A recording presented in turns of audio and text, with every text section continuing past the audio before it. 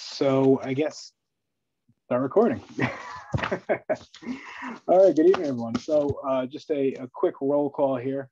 We have Councilperson Dominique Johnson, Councilperson Lisa Shanahan, Councilperson Tom Keegan, and Councilperson Nick Sacchinelli uh, present. Um, just uh, we'll do a approval of the June 24th minutes. Would anyone like to move that item? Uh, Lisa, Ms. Shanahan, um, any any comments, corrections, omissions that we need to address? I was not there present for that meeting, unfortunately. So if um, I'll let you all take the lead. Uh, uh, Ms. Johnson. Oh, thank you, Chair. I also see Diana Revolus, I believe, is present, but maybe not on camera or, or audio. Oh. I'm not sure. Let me uh, scan over. Yes, let the thank you. Let the record show that Diana Revolus is present. I believe there is also a edit for the minutes, but of course I'm trying to find it right now and I lost it. Um, so give me a second. uh, Not a problem. We could we could always circle back to or okay, you, that sounds good. Appreciate we that. Could, we could submit it in writing and have it corrected for the record. Very good. It was just a typo, so not typographical. All right, fantastic. Thank you. Um, any other corrections? We have a motion on the floor. All in favor of passing the minutes from June 24th, 2021 meeting. Um, any, uh, um, any of, I'm gonna, I'm gonna abstain. It looks like we're all in favor. I'm abstaining for the record. all right, uh, public participation. Do we have anybody waiting in the wings? who's running IT tonight? I'm Tyler. Hey, Tyler. Is there is there anybody waiting as an attendee that like to uh, that would like to speak? If anybody would like to speak, you can just uh, click the raise your hand button on Zoom and I'll let you speak.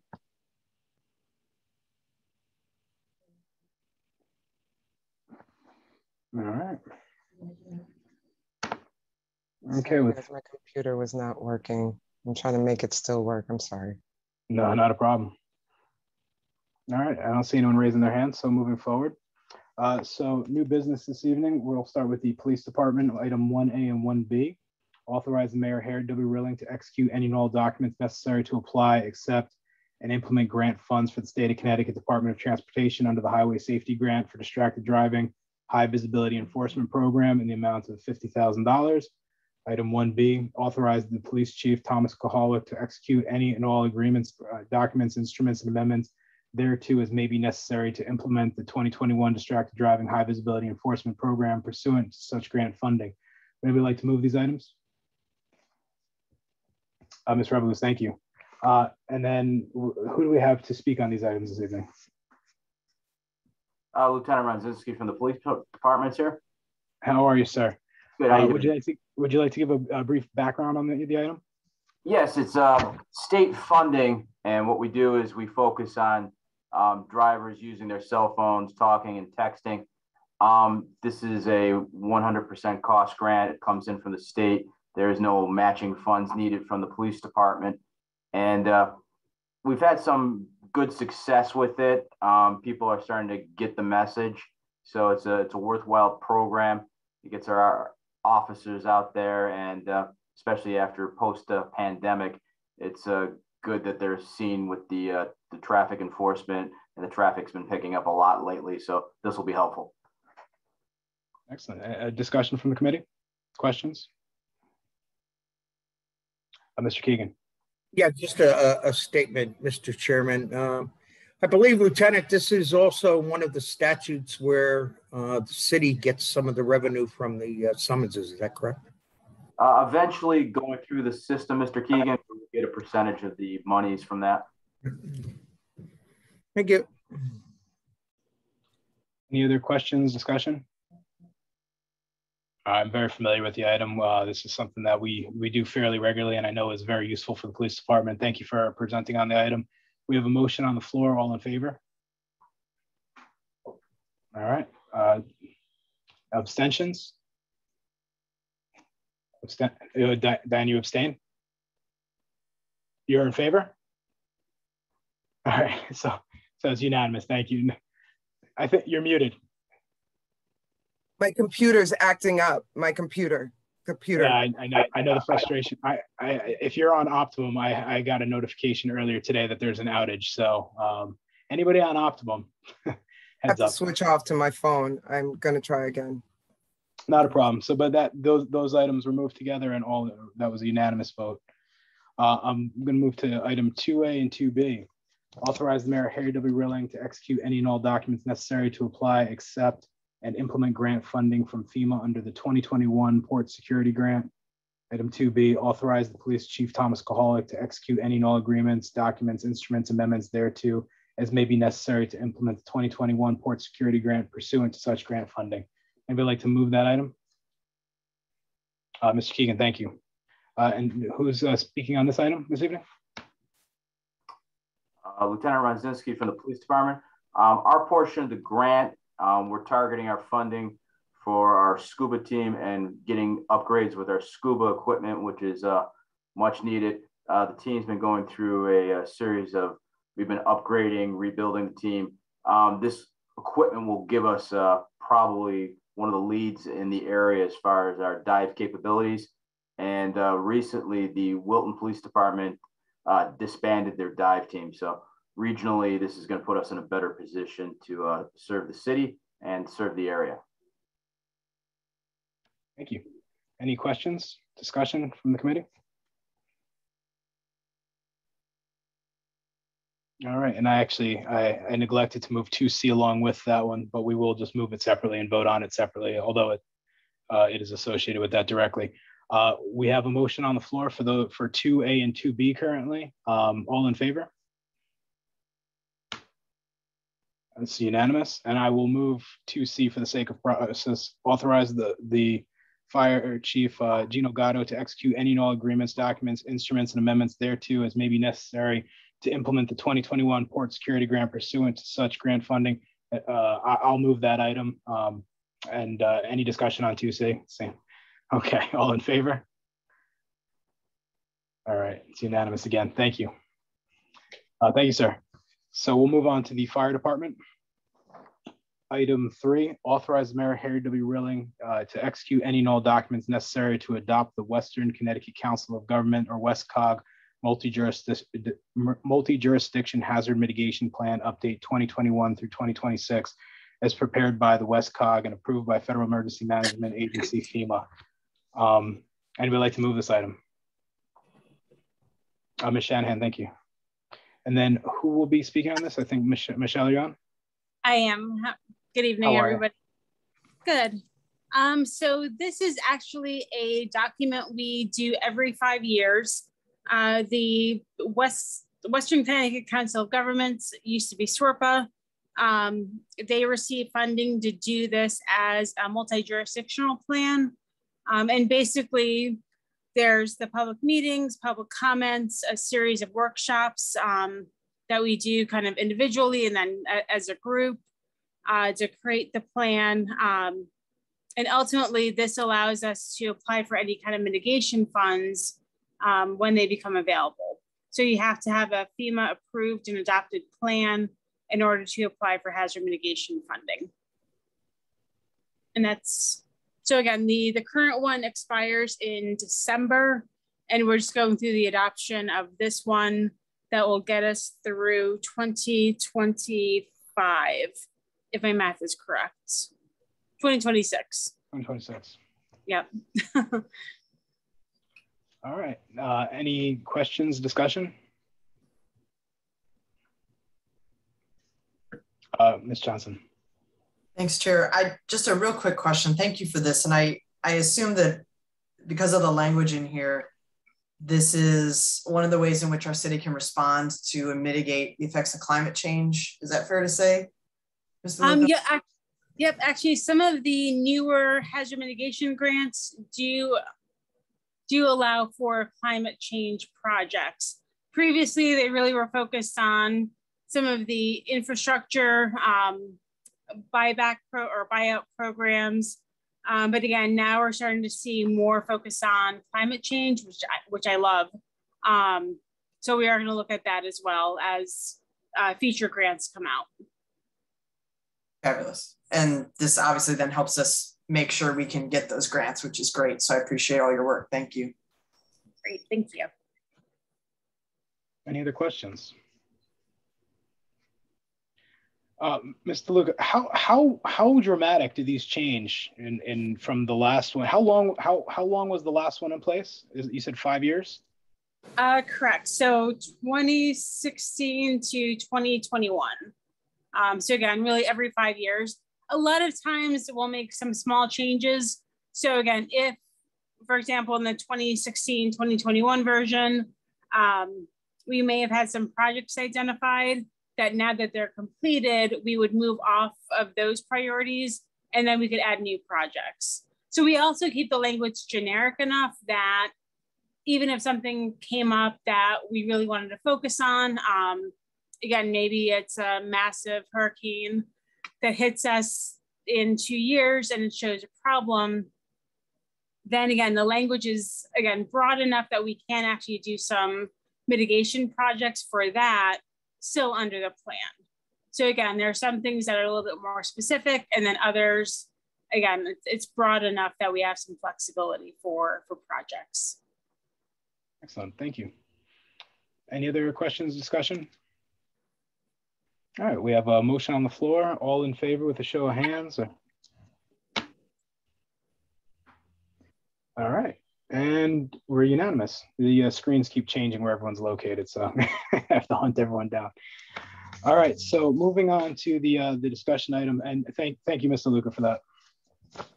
Moving on to the next discussion item. This was actually brought up in a another meeting. I'm not uh, I'm not 100% sure which committee we were discussing it in, but by Miss Revolus, um, and we it was requested that we uh, review our mental health and substance use uh, planning, programming, uh, and availability. What, what, what resources do we have to, to the city? Um, so Misty Moore reached out and, and set up a presentation for this evening. And would you guys, would you would you be willing to introduce yourselves?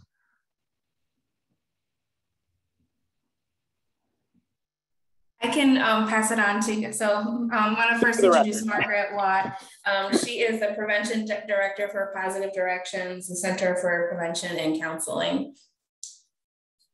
And Hi, everyone. Also, yeah, and yeah, go. and also Daniela um, Arias, who's a program coordinator for the Hub, which is the uh, Regional Behavioral Health Action Organization for Southwestern Connecticut. Thank you so much for joining us. Uh, the floor, the floor is yours. Um, thank you for having us. Uh, we put together a little presentation. I don't know if it's possible for me to share my screen. Uh, yep, you, you have permission. So if you want to hit that green share screen button, uh, you should be good to go. Okay, great.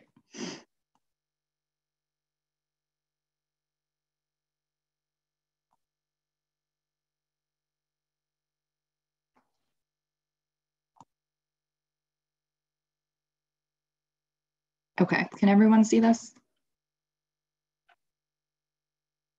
Great. Okay, so I'm going to give more of a generalized kind of overview of the region. Uh, Margaret will then get into the specifics and more uh, statistics of Norwalk. So for the region, the hub actually just completed their regional priority report, which happens every two years. Um, we focus on the 14 towns in Southwestern Connecticut from Greenwich to Stratford.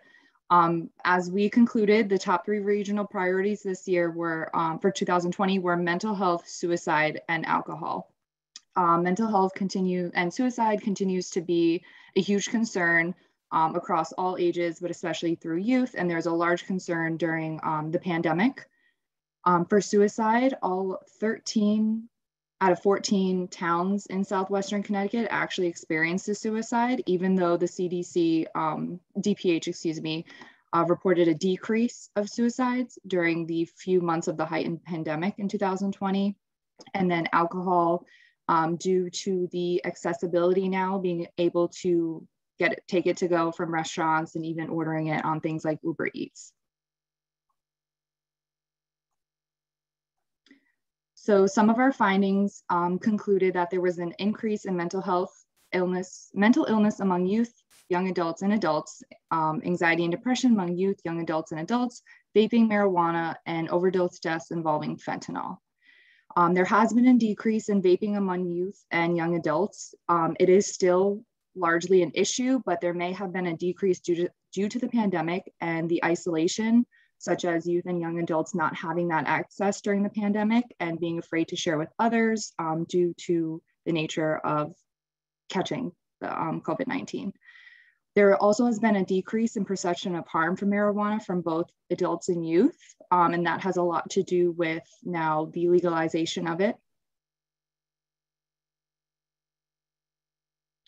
So some regional recommendations we've concluded for mental health and suicide, um, focusing on prevention, uh, social emotional emotional initiatives in schools and communities, education awareness, um, screening, social media buys, um, continuing with the Regional Suicide Advisory Board, which we have here um, in Southwestern Connecticut, um, and promoting uh, educational programs and trainings such as mental health first aid, uh, QPR, which is question, persuade, refer, um, suicide prevention training, safe talk, and assist.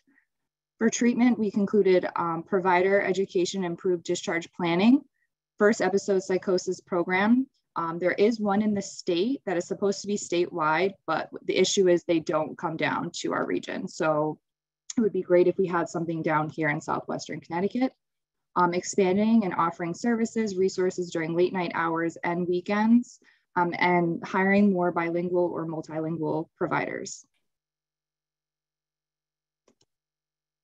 For recovery, um, advocating for a regional peer respite, support groups, sustainability of facilitators, um, maintain use of telehealth that has um, been largely positively taken by the region. Um, more people are using services because they have access on their computer, on their phone, or they feel more comfortable instead of going and creating those appointments, having to go in person and talking to someone one-on-one -on -one, in person um, form more community partnerships, specifically with faith communities, uh, create more efforts towards subgroups and underserved populations in awareness, treatment, and education. Recommendations we concluded for substance misuse for prevention included sharing of local campaigns, regional youth trained for alcohol compli compliance, education on marijuana and CBD oil, integrated screening programs, and community um, alcohol, tobacco, and other drugs, um, continuing to support um, community stakeholders such as the local part, um, the Norwalk Partnership, which is the local prevention um, council in Norwalk.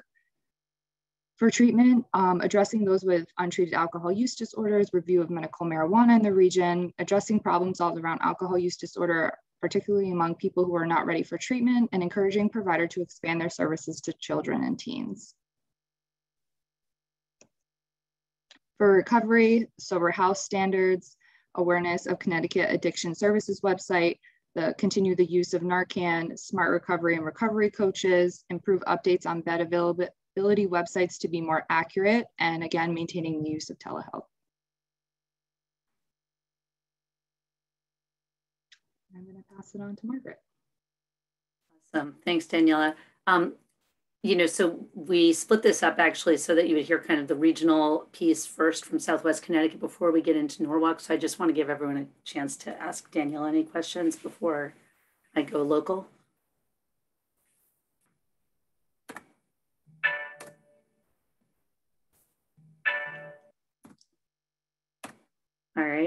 I will go ahead and talk through my slides and we'll sort of hope there's Q&A at the end. Um, and I want to just thank Daniela for, or Diana for, you know, bringing this to your attention. Um, so I'm Margaret Watt. I'm the Prevention Director of Positive Directions. We're a nonprofit behavioral health um, organization on the Norwalk Westport border, serving mostly Norwalk. Um, and we work across prevention, treatment, and recovery. But I'm here tonight because of the Norwalk Partnership, which is the local coalition to um, address substance misuse in youth and young adults. And um, I'm also a Norwalk resident, by the way. Uh, you know what? I, oh, because this is Danielle, this is you sharing your screen.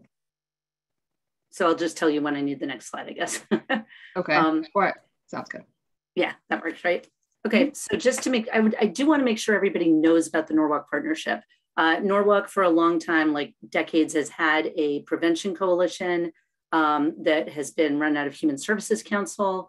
Um, it had pretty limited funding from the city and from the state. So, you know, they, they, they're the ones who always do like family day and backpack drives and things like that uh, and support some of the work they do at the school-based health centers. But what's exciting is a couple years ago, Positive Directions was able to get the federal drug-free communities grant um, based on doing a youth survey in 2018, which was a precursor. We brought in that money. And then last year, when I started at, at Positive Directions, um, because I used to work at the hub where Daniela is, um, I was able to create a merged, you know, Positive Directions worked with HSC and we merged the, the towns, the cities um, coalition. So we really want to make sure you guys all know there is no more, you know, Mid Fairfield Substance Abuse Coalition over at HSC. Um, it's one thing called the Norwalk Partnership. We have a website, which we've never had before. We've um, been there, we're just completing our first year. And in this first year, because of the federal money, we've been able to conduct youth and community surveys, which I want to share the data from. We've been able to do a lot more work like developing campaigns, um, building the website, just doing a lot more with that money. So the data I'm going to show you tonight came through the Drug Free Communities grant that I manage. Um, and one thing I want to let you know is my role at, at PD is prevention director focused more on the substance use side. I also do a lot of work around suicide prevention. And we've purposefully aligned, um, planned for this data to come in and be used by the schools and by Norwalk Acts and by um, the Norwalk Partnership. So we're all benefiting equally from the data that we were able to fund and gather. Um, and we've aligned our work plans in all those areas around mental health and substance use based on this data. So, oh, sorry, next slide. All right, so just some statistics that are local and recent. Um, in our community survey this past spring, Norwalk adults were given the choice of saying, of, you know, how, what has COVID affected the most in your life? And it could be financial, um, housing security, schooling, et cetera. But the number one thing they all picked was their emotional well-being, with almost half saying it had a negative impact on them.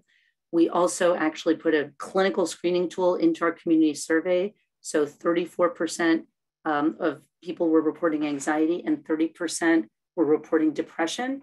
As comparison, in pre-COVID times, usually about 17%, really half of that having anxiety. And in Connecticut, usually about 18% of adults reports depression. So that's a significant increase. Um, you can see here there's been an impact on relationships with family and friends among adults. Of course, the same thing, even worse really with youth. And um, just over a fifth reported poorer access to mental health services, even though many other people said they had better access because of telehealth. Next slide. So then our youth mental health, our, our youth survey, talking about mental health there, we surveyed 7th through 12th graders right in June at the last couple weeks of school. Um, we asked them about stress, relationships with teachers, family, friends. Um, I'm just gonna hit a couple highlights, but if anyone wants to hear all the data, we're presenting at our coalition meeting next Wednesday, and I can send you that info. Um, but as you can see, about three quarters found the pandemic very stressful, more than half do not feel connected to other kids at school. Um, 40% overall, 39% reported depression, but it was basically a third of all middle schoolers and almost half of high schoolers. And the next um, bullets are the really terrifying ones. Um, thanks, Daniela. So we had 13% of our seventh through 12th graders who reported that they had had suicidal ideation in the last year and 7% of them had made an attempt. Um, in fact, 1% had actually made multiple attempts. So, you know, thank God we did not lose any kids this past year. Um, but addressing suicidality and depression is just absolutely critical. Next. I also want to highlight um, how important it is to look at really who's experiencing this the most. So what you can see here is for the overall depression rate in our youth, which was 39%, here are the groups um, that had 43 to 49%. So the 43% is everybody in the first bullet, 49% are the girls in the last bullet. So basically half of girls depressed, okay? Um, and next. The highest risk group in our survey was students identifying in the LGBTQ community, where as you can see, more than 70% reported depression. So it was 70% of LGB and like 76% of those who identify as transsexual. Um, one fifth of them made, an, made a suicide attempt. So this is an enormous, enormous issue that we need to, you know, this is a community we need to reach out to and support. Also, something very important to know is in this survey where we surveyed over 2,500 kids, grade seven through 12, 29% of them identified as LGBTQ. So basically almost a third. And so one fifth of a third attempted suicide on in this measure. Next. Moving on to substance use in Norwalk. So this is this is slightly different from what um, the hub found at the regional level. We did a, our community survey last March. We really didn't get a huge response rate, so we can't generalize too much. Um, but we asked um, community members a lot of questions, but some of them were, you know, whether they were using these substances that you can see here less or more or the same. So a couple things I want to highlight um, on the first row, 30% of Norwalkers don't use alcohol. Um, and the majority of Norwalkers don't use nicotine or vapes or marijuana or or misuse prescription drugs. Those are the things we asked about in alignment with our grant requirements. Um, the 30% not drinking is actually kind of a common statistic. You usually have nationally reports about a third drink, about a third don't drink, and about a third are problem drinkers. What's interesting is if you look at the column that says less and more, the percentages are pretty similar. So we actually had 18% of Norwalkers that responded saying they were drinking less and 18% drinking more. So different 18%. Um, overall, what it looks like here is there was maybe a slight decrease in total substance use. And a lot of that may have been people just not leaving the house, right? And not having social opportunities. Next. Just a quick question on this slide. What, what's the sample size? So this one, the, the adult survey is only 292. I have that down at the bottom. So that was not a oh, huge. Thank you. Yeah, the, the youth survey is incredibly robust. It's 44% of the entire student body. Oh, okay, thank you. Which is over 2,500 kids. Um, next, please. So now youth substance use um, compared with the, the one and only other previous survey, which was 2018, substance use had decreased. I think, again, Kids didn't have social opportunities and they were mostly at home. Um, I will say, however, I conducted this same survey in a couple of other towns and rates decreased and were actually quite concerning in some of those towns. So, so this is good for us in Norwalk. Um, alcohol is the number one substance. We have just about a quarter of our seniors that were drinking um, during COVID, right? Again, so with less access. So I think we should assume that when things open up more, there will be an increase. As a comparison, in 2018, we didn't survey every year, we surveyed every other grade. So in 2018, juniors in Norwalk, um, it was 40% of them were drinking. So that was a third higher than the state average for juniors at that time. So these rates are really quite a bit lower. However, those who drink also use other substances, including 10% of those who drink also using prescription, misusing prescription drugs.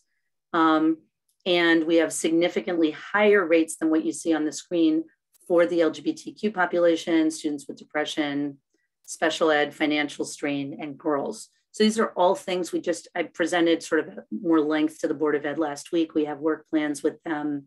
Um, it's really important to address sort of, to do sort of universal education, but also targeting the groups that are struggling the most. Next want to share some of the um, sort of knowledge and attitudes that we gathered. So in Norwalk, um, we had almost a third of adults think that drinking alcohol is a normal part of growing up.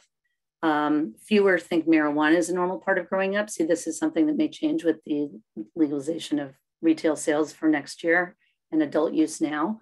Um, you can see 43% think it's common to see alcohol being consumed at Norwalk beaches, which is obviously allowed since it's for sale there. Um, of more concern, 23% think alcohol is, use is common on school grounds during band and sports events. Um, for those last two bullets that I just read, those are from our community survey with adults, but we did focus groups with youth and they also reported the same thing. Um, and going back to the beaches for a moment, we've had we've had some coalition members who are sort of regularly staying in touch and talking about how after hours, um, there's one guy who works on some kind of patrol and like a community patrol type thing, and they see kids jumping fences or going in the beaches or drinking or you know behind the buildings, and so um, I think you know it's in terms of our work plan for the Norwalk partnership. One of the things we want to look at is where are kids doing things that we can sort of you know, address. Um, a couple of perceptions among teens that are of concern. These two bullets are, are what we call perception of harm measures, which are common in prevention work. So we have a lot of kids who don't think binge drinking is dangerous when it's actually significantly risky. And also about a third of kids who don't think using marijuana one to two times a week is risky. So in case anyone, you know, isn't aware, um, which you may not be because you're probably not working in this field specifically. If teens who use marijuana a couple times a week with today's marijuana, which is you know genetically engineered to be way stronger than anything anyone may have experienced back in their own school years, um, they are susceptible to a six to eight point IQ loss. There is increased chance, significant increased chance of addiction, increased chance of psychosis. Um, it's quite risky. Uh, so this is something we need to raise awareness about. Next. And, and then this is maybe relevant, especially for you know common council members. Um, a, a, third of adults in Norwalk don't know about the social host law, which has been in place for a number of years, which says that if if underage minors are drinking on your property, on property that you control, whether you own or rent it, um, whether or not you knew about it, you can be held liable for it. Uh, and you can actually be held liable and fined or even get up to a year in prison for every person who is there drinking underage. Um, and so it's one of the ways, one of those sort of laws that you use to kind of prevent these behaviors that really are risky. Um, a lot of the adults didn't know that the legal age for tobacco was 21, which changed actually a couple years ago. So now we have marijuana, alcohol, and tobacco all having the same legal age. So one of the things you'll see in, I think the next slide is we want to talk about signage and things like that in town. And so going on to the next slide, um, these are some of the things that, that in our work around both mental health and substance use with the Norwalk Partnership and Norwalk Acts, um, we have a lot of recommendations, we have work plans. What I'm trying to put here are things that I think maybe your committee can be looking at and supporting and working with us on. Um, so, with so much depression out there and so much suicidality, it's unrealistic to think that everyone is going to go have a counselor, right? Number one, there aren't enough. Number two, it just it's not logical, right? We have to create a healthier environment. So there are people are isolated, and that's one of the factors creating depression. So there are these things called uh, friendship benches that are staffed by volunteers that get some training and peer support. New York City does it. Norwalk could do it. Um, I go to the, the, the town green a lot with my dogs, and I'm always like, why are all the benches individual? Nothing faces anything. Nobody, there's no place for like two people to sit down and play chess like you see all over many other cities. So those are things that could create natural outdoors COVID friendly um, supports. A lot of local towns have teen centers with the level of kids saying that they feel disconnected. That would be a huge thing to work towards, I think. Um, you can see some of the bullets under social supports. It's going to be really critical, I think, for the city. And I say this as a resident and a parent and you know, not just a professional to, to address the needs of our high risk groups. So the LGBTQ community, we have Triangle Community Center right here can we have gender neutral bathrooms all over the city? Can we have signs that say all are welcome here? Can everybody who works for the city or volunteers for the city do some LGBTQ cultural humility training and get and learn about pronouns and ways to talk and just learn concepts that, that are that that are foreign to a lot of adults but are really pretty common for kids, right? Um, and I would say a lot of that applies to many of our cultural groups, the Haitian community, the Spanish, the Hispanic community, et cetera. Um, at the bottom here, it says mental health and suicide prevention. So one thing that uh, Deanna knows about, like and I've talked about in the past. Um, a couple years ago, the state sent signs to the different cities where someone had died by or made an attempt to jump off a bridge. And these are signs that you're supposed to put on the bridge that say, like, here's the National Suicide Lifeline. So, first of all, in Norwalk, one of those signs at least is under the bridge. And we've been trying to get that moved for like two years now because it's supposed to be on top of the bridge. So, it's a last chance message for someone who's desperate. Number two, as of next summer, the National Suicide Lifeline is going to change to the three digit number 988. So, this is an opportunity. Um, we've already got materials that we're trying to get out there about the new number, but um, we should have, I think Norwalk as a city should have these signs like permanent signs everywhere. The mall, when it was built, and I walked through it the first time, you know, people have jumped to their death in Stamford Mall, in Danbury Mall a few times. Our mall is extremely high risk. I think we need to train everyone who works there in suicide prevention, have signage, and think about actual environmental supports. Um, and this last bullet over here on the left that I want to talk about is I, I know you're probably going to say, what are the resources for mental health and substance use in the city and the region? And I've got that on the next slide. Just a couple, it's two easy links. It's the Norwalk Partnership link and the Hub link. But one thing you all may not be aware of that um, that I think Deanna and I found out at the same time a couple weeks ago in Norwalk Hospital is they are planning to move their psych beds uh, to Danbury Hospital. They are planning to increase outpatient psychiatric support here in Norwalk. Um, but moving the psychiatric beds to Danbury Hospital is going to be a net loss to Norwalk. It's already a problem that people can't get hospital hospital level care when they need it. It's already a problem when people have to go to Danbury. Um, but I also think a lot of people, when they're having a psych emergency, what they need is a crisis stabilization unit, a respite, a peer respite. And I think I am happy to talk about that at length with anyone, but we can all be advocating for that. Um, so finally, you've probably been like, as I'm talking, you're probably looking at the substance use side of the slide. Um, and uh, here are some things that the city can help with. And I know um, Diana is an active part of the Norwalk Partnership and she's in our marijuana and our alcohol subcommittees. And we were talking about, you know, so if if people are, if we know people are drinking and using at the beaches, what can we do about lighting? What can we do? Lighting and sign, lighting is late, and police patrols are when kids are going after dark, right, or after it's closed.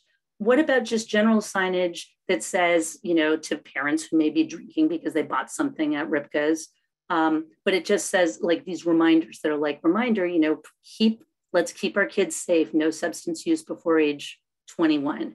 Um, and these could be, you know, we might want to have some traditional signs around the city, but also we were talking about the digital signs that we see you know, on the side of the mall or in front of the high schools. And if there were some, if there's a possibility of having those those movable digital signs, we could run sort of constant campaigns around different health, mental health, substance use um, information that people need to know um, because we there are a lot of campaigns out there. It'd be a great way to get them to people. Um, I also just want to comment on bullet three here with the new marijuana law that that got passed and went into effect on July 1st, um, we don't have we have adult use is legal. We don't have sales yet. We have sales starting next year, um, which means, well, you, you've all seen how many new vape shops and hookah shops and ads for Delta 8 and all this stuff. It's all there. They're all ready to sell marijuana, right? You've probably read that a lot of local communities in the state are deciding that they are locally going to ban marijuana sales, just basically either to protect youth, because the more you normalize it, um, the more you think it's okay, even though it's still illegal for them. Or there are options to pass ordinances around making these things be so discreet that you have to go looking for them. I would say right now, walking through South Norwalk is just like everything is in your face everywhere. Um, and so I want to go back to that statistic that showed that basically 60 plus percent of Norwalkers don't use marijuana. So I know that um, a lot of people are thinking, oh, this is going to bring in a lot of revenue and this is something everyone wants. Well, what does happen when you legalize it is you do have somewhat more use. You absolutely have more kids using and more negative effects on them. So I think anything we can do to minimize, like to to not make it more normal, to just like if it's legal, like when I think about when the medical marijuana dispensary opened up in Westport, you have to know where it is. You don't see evidence of it driving around. So you can go get there. If you're legal to use it, you can go and find it. But kids aren't seeing it in their face all the time. So that's something else I wanted to say. And next slide is almost the last one, you guys. So if you are looking for behavioral health services or supports, I just want to point out that on the Norwalk Partnership website, there's a Get Help page um, where I actually, I don't, I'm not controlling the uh, screen right now, but we could show it to you. Um, you can download resource lists in English or Spanish all, all, the supports that are literally here in Norwalk. You can look at them on the screen with a bit of description of what each one offers. Um, so things are visible right there, a great resource anytime you need it and downloadable. And that's all specific to Norwalk. And then the hub um, where Daniela works has a broader list, which is like the whole region. So if you're looking for something, can't find it in Norwalk, you can find it in other parts of Southwest Connecticut. And I think the next slide just says questions, right? Oh no, Daniela, you wanna comment on this? Yeah, sorry. Um, so the hub, we created infographics from our priority report, but these are things that you can also download on our website and print them out and hand them out and distribute them however you would like. This one's specific to mental health. Um, there are resources there in the middle and on the right that we're constantly updating.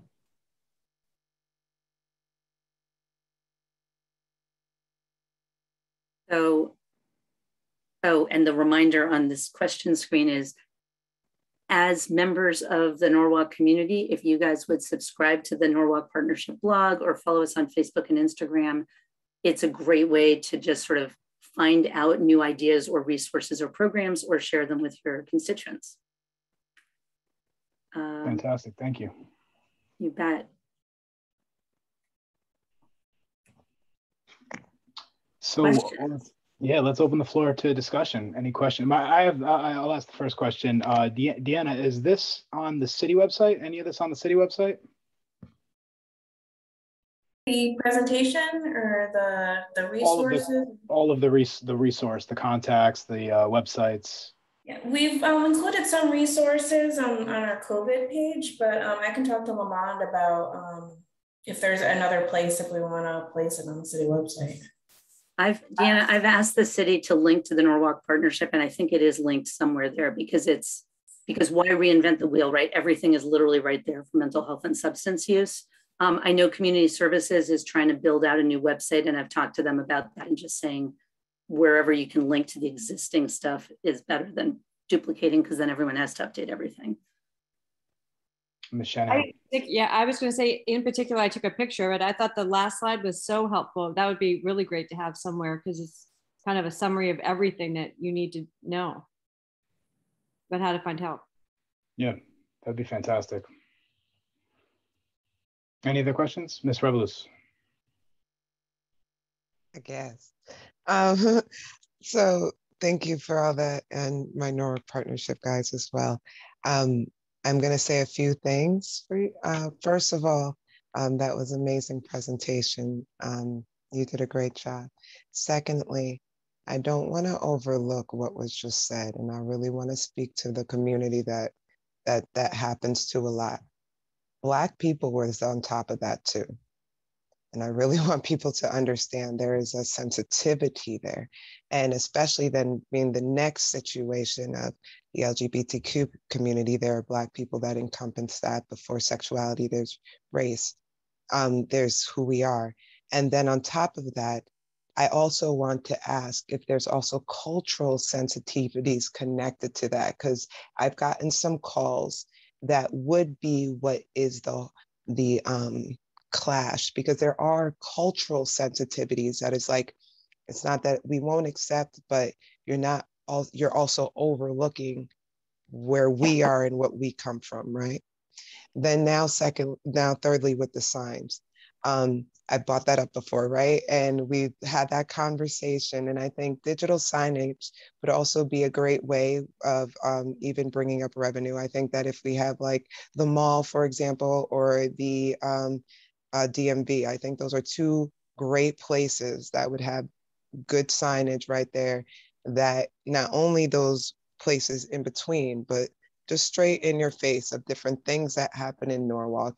And people can actually probably maybe put a little, you know, payment towards throwing something up there, for example. You know what I mean? Um, digital signage not only can be festive, it can also be informative and um, and also that uplifting spirit stuff just from our um, our town, our councils engaging with our community before and after like elections. So um, I'm I'm a big I'm a big fan of the signs. I want to just add maybe thinking of cultural sensitivities and not and we put it out there, we heard it. I just don't want it to get overlooked. There are children out here that really are suffering just because of the way they look. That's something I can't change. I can't wash. I can't do anything. And they really get subjugated to um, sexualizations, um, uh, masculations, uh, um, um, education divides, um, health, so on and so ever. So um, as an overall hold, I just want to speak to that. You guys did an amazing job. And to my council, that's all I want to say. We should get some digital signs. that's it. Thank you. Uh, Ms. Johnson. I, I want to thank you all so much for this presentation. Thanks for Deanna and Chair Second for bringing this for us. I know like so many Norwalkers, when we saw that data come out, I think in the paper for the first time from the presentation, it stopped so many of us in our tracks. And to my colleague Diana Revolus's point, a lot of us live it and we know this um, as people. And so, you know, as a proud member of the LGBTQ community myself, our, our kids suffer so disproportionately. And this data was even alarming to me. And I, this is something that in my former life, I, I was a researcher in this area. So the pandemic has really brought such pain into so many of our young people's lives that I'm really proud that as a city, hopefully in the next year or two, we can really take a hard look and, and do this work. Um, and for those in my community, like please read, and you know, I, I'll just speak for myself now, like please reach out. Like D Johnson at norwalk.com if you need anything. I'm here for you as your LGBTQ council person. so, but at the same time, Trevor Project, for those of you young people, you need somebody to talk to right away. We've got TCC and Trans Lifeline at translifeline.org will help our trans ch uh, children be able to have a safe space to go because I'm gonna I'm gonna close with Diana's point, like cultural sensitivity is something we often don't experience in, in mainstream healthcare at all. And it makes it very difficult for us to find healthcare that sees us for who we are. And I think for the city to take that step, hopefully, to make it so that there's not that barrier is going to be really crucial for our kids. So thank you all so much. Ms. Revolus, do you want to say oh, something? Oh, no, I was just giving a little speak truth to power that's all I was doing. It was that's it. That's it. I love it. I love it. Any other comments, discussion? Well, thank you again for the presentation. It was outstanding. I think the content was uh, was exactly what we were looking for, what we needed to know. We there was we knew the information was out there. Having it in one place is very useful, and getting it on our website and making sure that the public have, has access to it is going to be all that much more useful. So we do appreciate you coming this evening and thank you for all that you do. Thank you. And can I just um, ask Nick if I send you some of these files and documents, can you share them with everybody else here? I'll share with the whole council. Yes, please. Okay, Thank you. Great. And and please just one final plea, like the the work of the Norwalk Partnership, this is a voluntary effort, right? A coalition is it's a community coalition. It's all of us working together. We have like this 12 sector approach, but we need more people to make these things happen. So if you like some of those ideas around, you know, like signage and whatever, we want to work with you or come and work at our table. Um, and I really do think that, you know, for the, the cultural humility kinds of training and things, anything that like we're trying to do it at positive directions of like we're trying to set goals of saying we, you know, it's part of a DEI initiative, right? Like, so what are the different communities that we need to know more about and be trained up in and say it's not optional, like we all need to do this. Um, No, so. uh, no, that's good. And then, and you did bring up the the mall as well. Do you have any partnership with anybody at the mall? Do you have contacts at the mall? So Diamond Seed, who is one of our leadership team, um, has some connection to the mall, but it hasn't it hasn't been fruitful in terms of that yet. So Okay, I so think if you I, have, I, I could bridge that gap for you. I, I know the mall is actually passionate about the the the suicide prevention as well. I've sat in meetings with them, so I could um I could I could arrange that. So uh, anything that you send say, over, I'll, I'll You're amazing. I was just gonna say, yay. I was like, do we have it? I was just gonna say, do we have a link? And you just jumped on that. So that's amazing. absolutely. that would be I'd ha- great. happy to arrange that.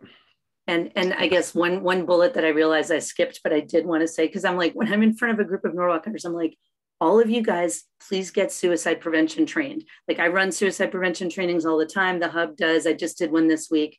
Just they're for the general public, anyone 16 and up. But with this level of suicidal ideation and attempt, there's just really no reason everyone hasn't gone to a training to feel like they're like able to have that conversation because it could be your kid and it could be your spouse and it could be your mom, right? Ms. Revolus. I'm so sorry. I did think of just one thing right now with the with what with what you said about the bridges. Is it because the way that our fencing is over the bridges is that why our sign is below it? Like we made obviously a um attempted measures to make sure people can't even climb over, but even in doing that, so you know, like all our fences kind of curve. Why would then our signs be below it? Because we made the attempt for the fence to go up and curve. So although I like digital signage, I'm just kind of going back to maybe well before my time being here. Why are the signs below the bridge if we've obviously made attempts to make sure people don't go over the bridge?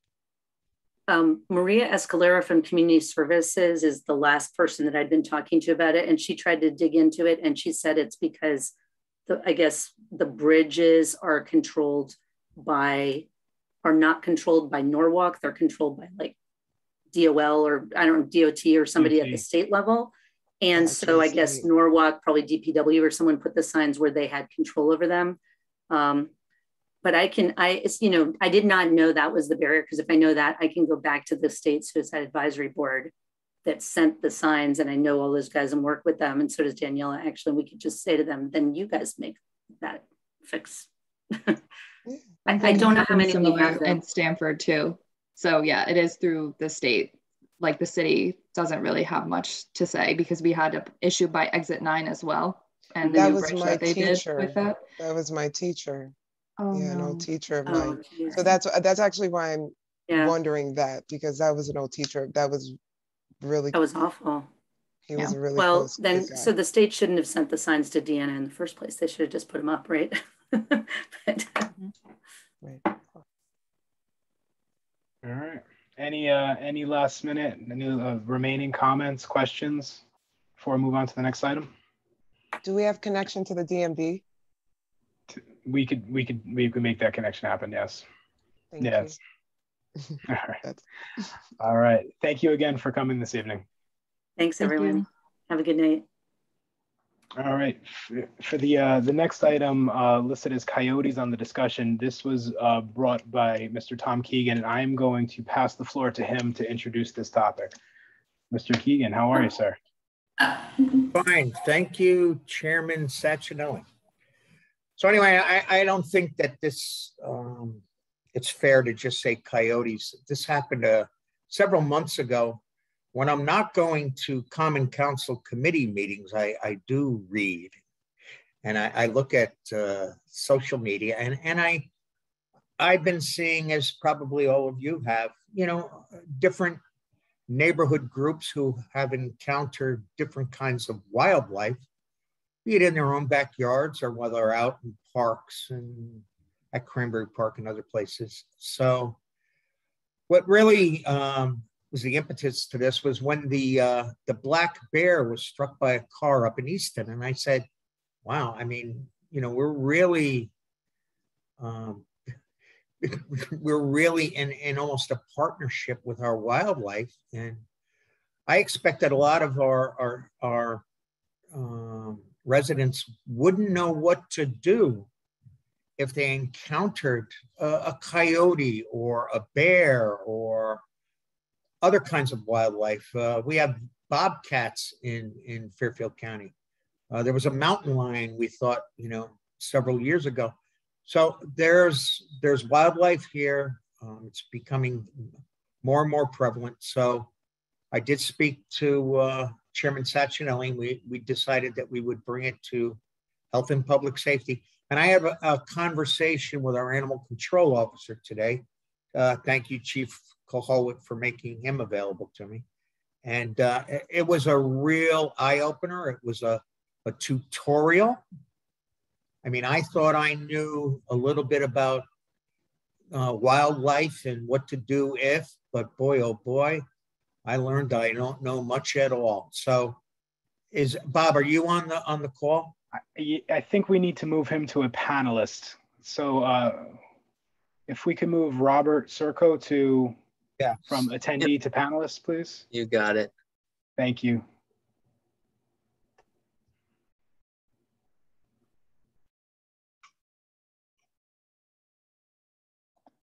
Okay, should be good to go. Thank you so much.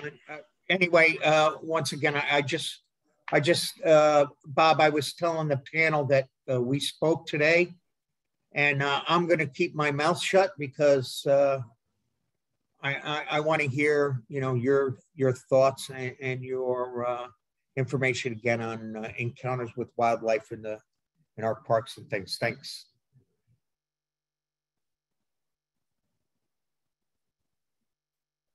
You there, Bob?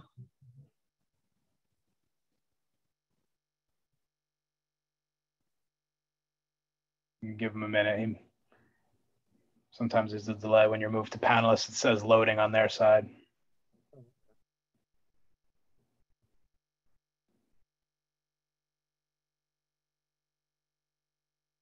I don't have any fish. I have a cat, but I also uh, I have any pets on me. But I have some fish, and if you catch them walking in Cranberry Park, well, please get that on YouTube. We'll make some money on that.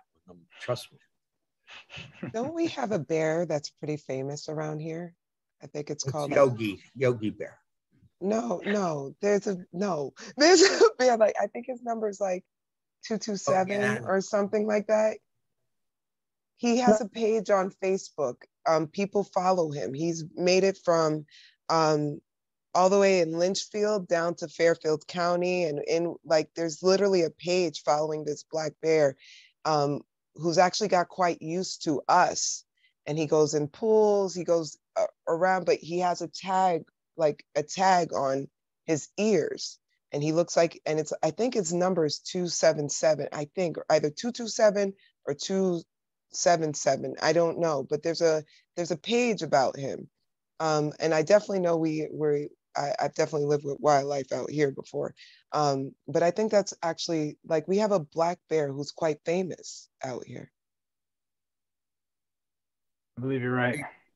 Yeah, I, it's it. I I actually got to go check. I think I'm following the page. I want. oh, I'm on my phone. I gotta find it. Like um, it's either two eleven or something. Robert, are you with us? Can you hear me? I so yes. Oh, okay. thank you for joining us. Thank, thank you. Thank you. Yeah. Um, so, if I may. Yeah, absolutely.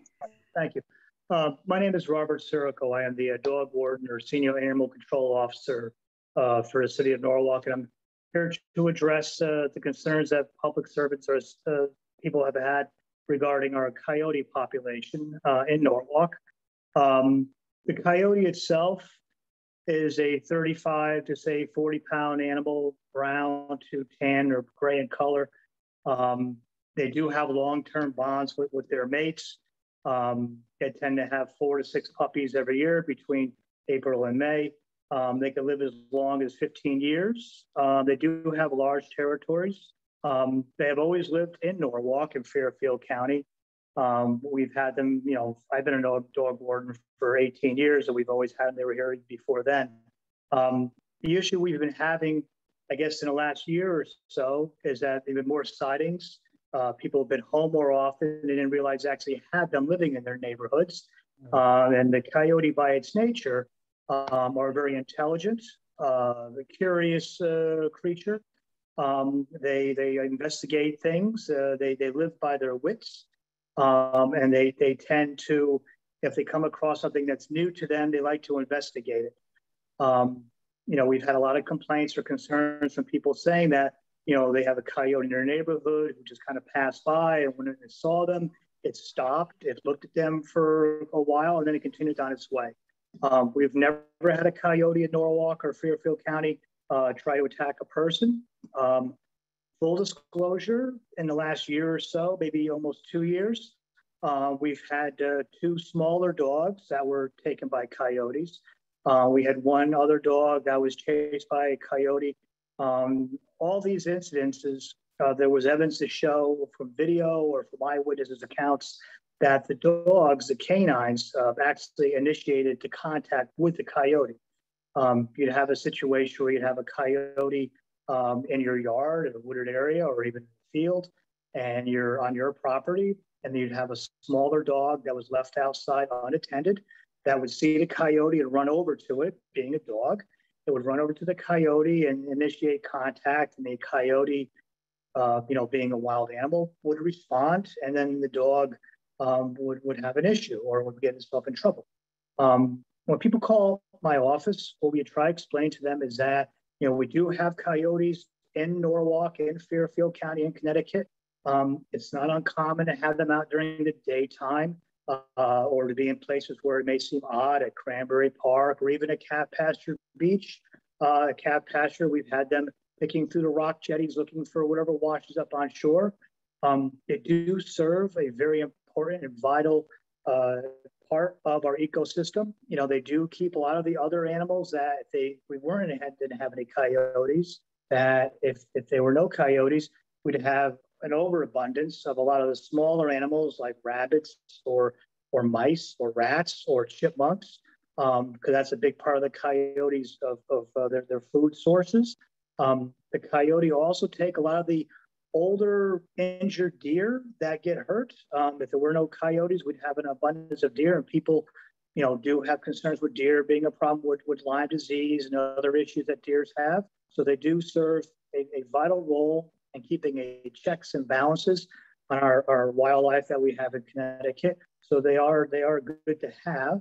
Um, like any other animal, uh, when people come across them, they, they see the coyote, and by nature, the coyote you know, they, they're very curious, like I had said before, and they, they tend to stare at people in a very strange, awkward way that make people, people feel uncomfortable. They stare at you. Um, it's not a threat, it's just what they do. Um, most of them have a comfort zone of maybe 20 to 30 feet. Uh, myself, I've, I've been within 20, maybe 15 feet of a coyote, or I'll walk up to it and then I'll be I'll be aggressive or I'll be dominant with it. I'll clap my hands or make a noise, and then it'll retreat uh, another 10 or 15 feet back, and it'll stop and look at me again. And then I would walk up to it, approach it again, and do the same behavior. And again, it would back up and then eventually run away. Um, you know, the issue that we do have is that a lot of people, um, they do live in areas that, that are preferred for coyotes. They'll, they'll have situations where they have a bird feeder out or other, you know, attractants. So they'll have a bird feeder or they'll have the garbage which is left out exposed in their garbage cans, or perhaps they may have a shed that is not properly covered on the bottom. So there's, there's a way for the coyotes prey species like a rabbit or something to squirrels to get up underneath there and make a home. And that would attract uh, not just coyotes, but other animals that we do also have that live in Norwalk that people are surprised to hear about. That we do have black bear that come and go from Norwalk. We do have bobcat, which can also be quite uh, intimidating or beautiful when they're seen. Um, and we do have the coyote that, that do have resident coyote that live in Norwalk. Um, so when you do see them, the important thing to remember is that the coyote by nature is a very curious, intelligent animal that is also extremely skittish and nervous at all times and that the last thing it wants to do is have a conflict with a person because it realizes that if it's injured or if it's harmed or hurt, that it would be in trouble itself. So what they're looking for is mostly smaller, easier things that they can subside on, like such as mice or rabbits or the occasional injured deer or older deer. Um, they're not actively looking to harm anyone or even our pets. So with that said, if they were to come across an opportunity where if somebody was feeding cats outside and the cats would kind of relax and lay back, the coyote was to take a cat, small animal, it's under 10 pounds, 15 pounds at the most, easy to take, not a problem for them. If you have a dog that would run up to a coyote, especially a smaller dog, then the dog initiates contact. Then there's going to be a problem for the dog, obviously, because like I said, your average coyote is, is 35 to 40 pounds, depending on you know how they're how they're doing health wise. Um, the best way to deal with coyotes, and there's been studies done where across the nation, this, the federal government has has uh, paid for studies to have to, for coyote management, where they've tried you know euthanizing them, which I don't agree with, but they've tried euthanizing them, they've tried relocating them, um, they've, they've done all these things, and you know euthanizing them and relocating them doesn't work. If you euthanize them, the ones that remain because of where the environment is, um, other ones would move in and quickly move in, and then they still have coyotes. Um, relocating them, you're just going to bring them to a location where you would probably think it'd be a good idea for them. But unfortunately, wherever you bring them, there's probably already coyote living there, and there's going to be a conflict that way. Um, the only real way and the safe way and the smart way to deal with coyotes is to be what you would call hazing them or make them feel uncomfortable. So if you come, if you're walking along, say Cranberry Park, and you're with your dog, um, your dog is off leash, it's running around, you see a coyote, the coyote is going to stare at you in a strange, you know, it's kind of an odd way. You want to immediately call your dog back over to you, make sure your dog doesn't run up to the coyote because it's going to be a problem. But your dog listens to you, dog returns to you, you put your dog on a leash, which you should have with you, and then you make yourself as big and as intimidating as possible. You want to stand there. You want to stare at the coyote like he's staring at you. You want to clap your hands. You want to stand up straight. You want to make a lot of noise. Hopefully, this will also encourage your dog to react because now you're you're angry or you're being grouchy. So that make your dog a little bit irritated. The dog will start to bark. You're clapping your hands. The coyote is going to be, oh my God, it's too much for me to handle. Because again, they don't want conflict. He's going to run away.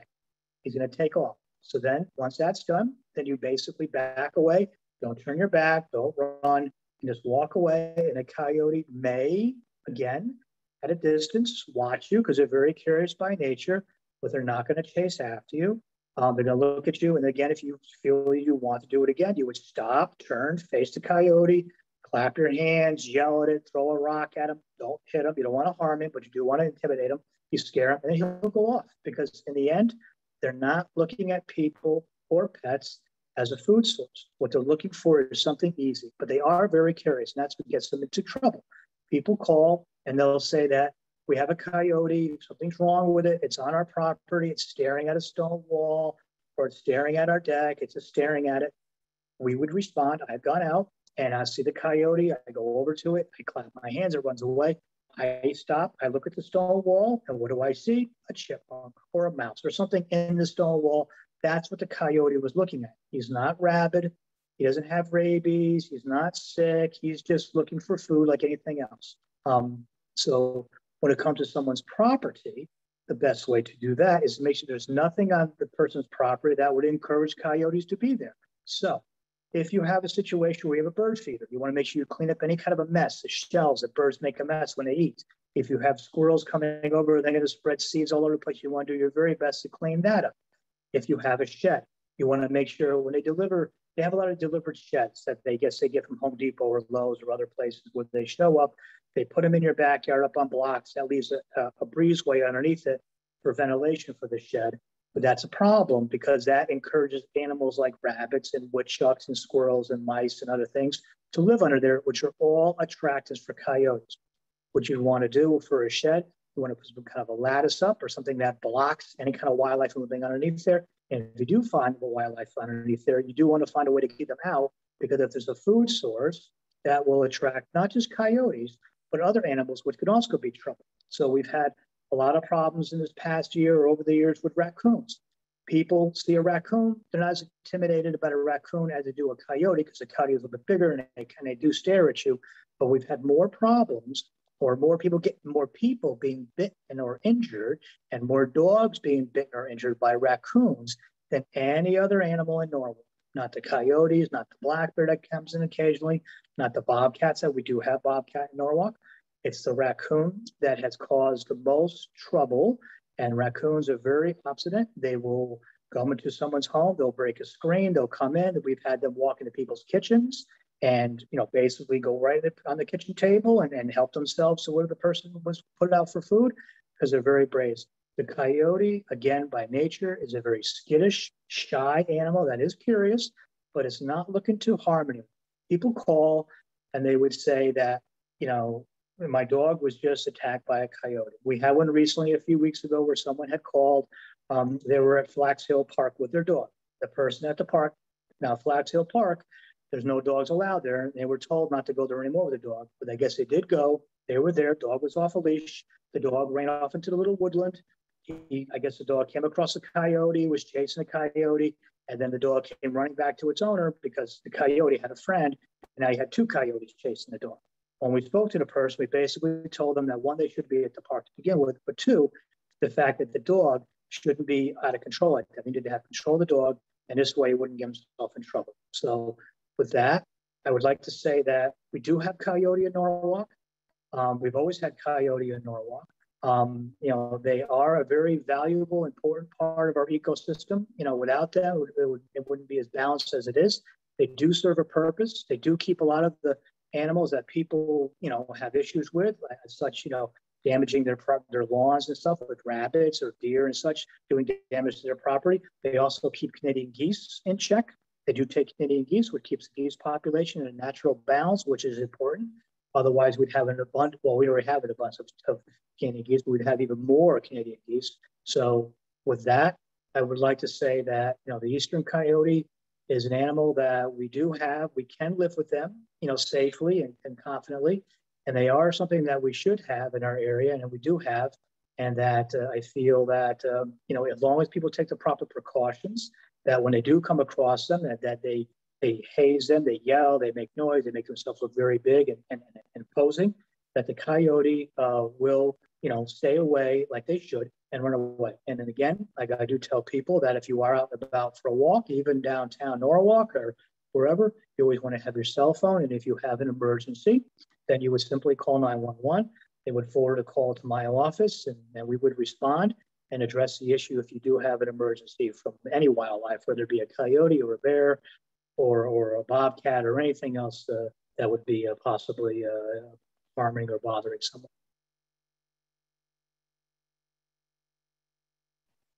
So that would be it. Thank you so much. That was actually very informative. Um, is there any questions, discussion from the committee? Ms. Johnson.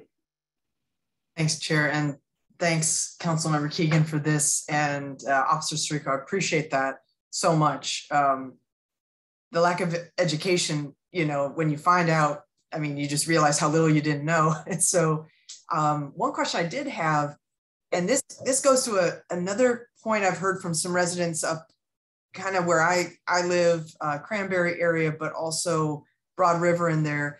A lot of dogs off leashes in neighborhoods, and parks? And do you think just to be safe, people should be very much mi more mindful of keeping their dogs on leashes because of this? Or, or what are your recommendations for particularly dog owners about leash, leashes? So the city of Norwalk, state of Connecticut, um, there are no leash requirements. You're not required to have your dog on a physical tether. With that said, um, we do have a lot of issues where we have dogs that people would say they always listen to me no matter what happens. My dog always responds when I call it. And then when something does happen, it doesn't work out that way, unfortunately. And we've had a lot of people who call up and, you know, they'll say, you know, my dog was out, we were out for a walk, we took him off a leash and, you know, he wandered off and, you know, he was, uh, you know, he was either in the road and got struck or he had a conflict with another dog that was also off a leash or on leash. So my recommendation to people is that, you know, unless you're in a fenced in area, like row eight has a very nice fenced in dog area, uh, you know, that's something that's good. Um, I would always be very careful. Um, my personal dog, we have a little Jack Russell Terrier who who does listen, but he is a Jack Russell and he's very headstrong. And we would, I would never let him off leash at an open area because of the fact that even though he does listen to me, being in his nature, being a Jack Russell Terrier, um, if he picked up on something like another animal, like a wild animal, he would be off like a shot and uh, it would be a problem. So my recommendation to everyone is that, you know, unless you're in a fenced in area that that's contained um, and, and, you've worked with your dog to train the dog to listen to you at all times um, as much as possible, um, my recommendation would be to have them on a leash. But then again, there's nothing that requires it. Um, we've had a lot of problems over the years where, you know, again, people, they'll walk their dog along a sidewalk on a busy street and off leash, you know, the dog is next to him at a heel, which is legal. It's not, you know, not being a problem. But then, you know, it takes one little mo- motion to the left or to the right, and the dog steps off the curb onto the sidewalk into the roadway, and then they have a problem. So, um, but back to coyotes.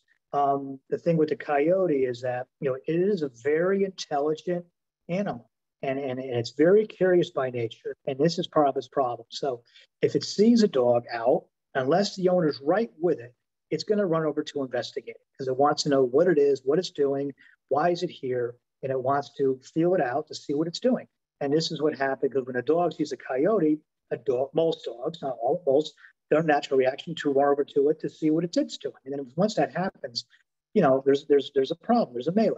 Um, I do tell people that, you know, even though we we have full disclosure, we did have two smaller dogs um, taken in the last year or so in Norwalk by coyotes uh, that were seen and witnessed being taken. Uh, and another dog was bitten. One two other dogs were found that were that were that were attacked by something.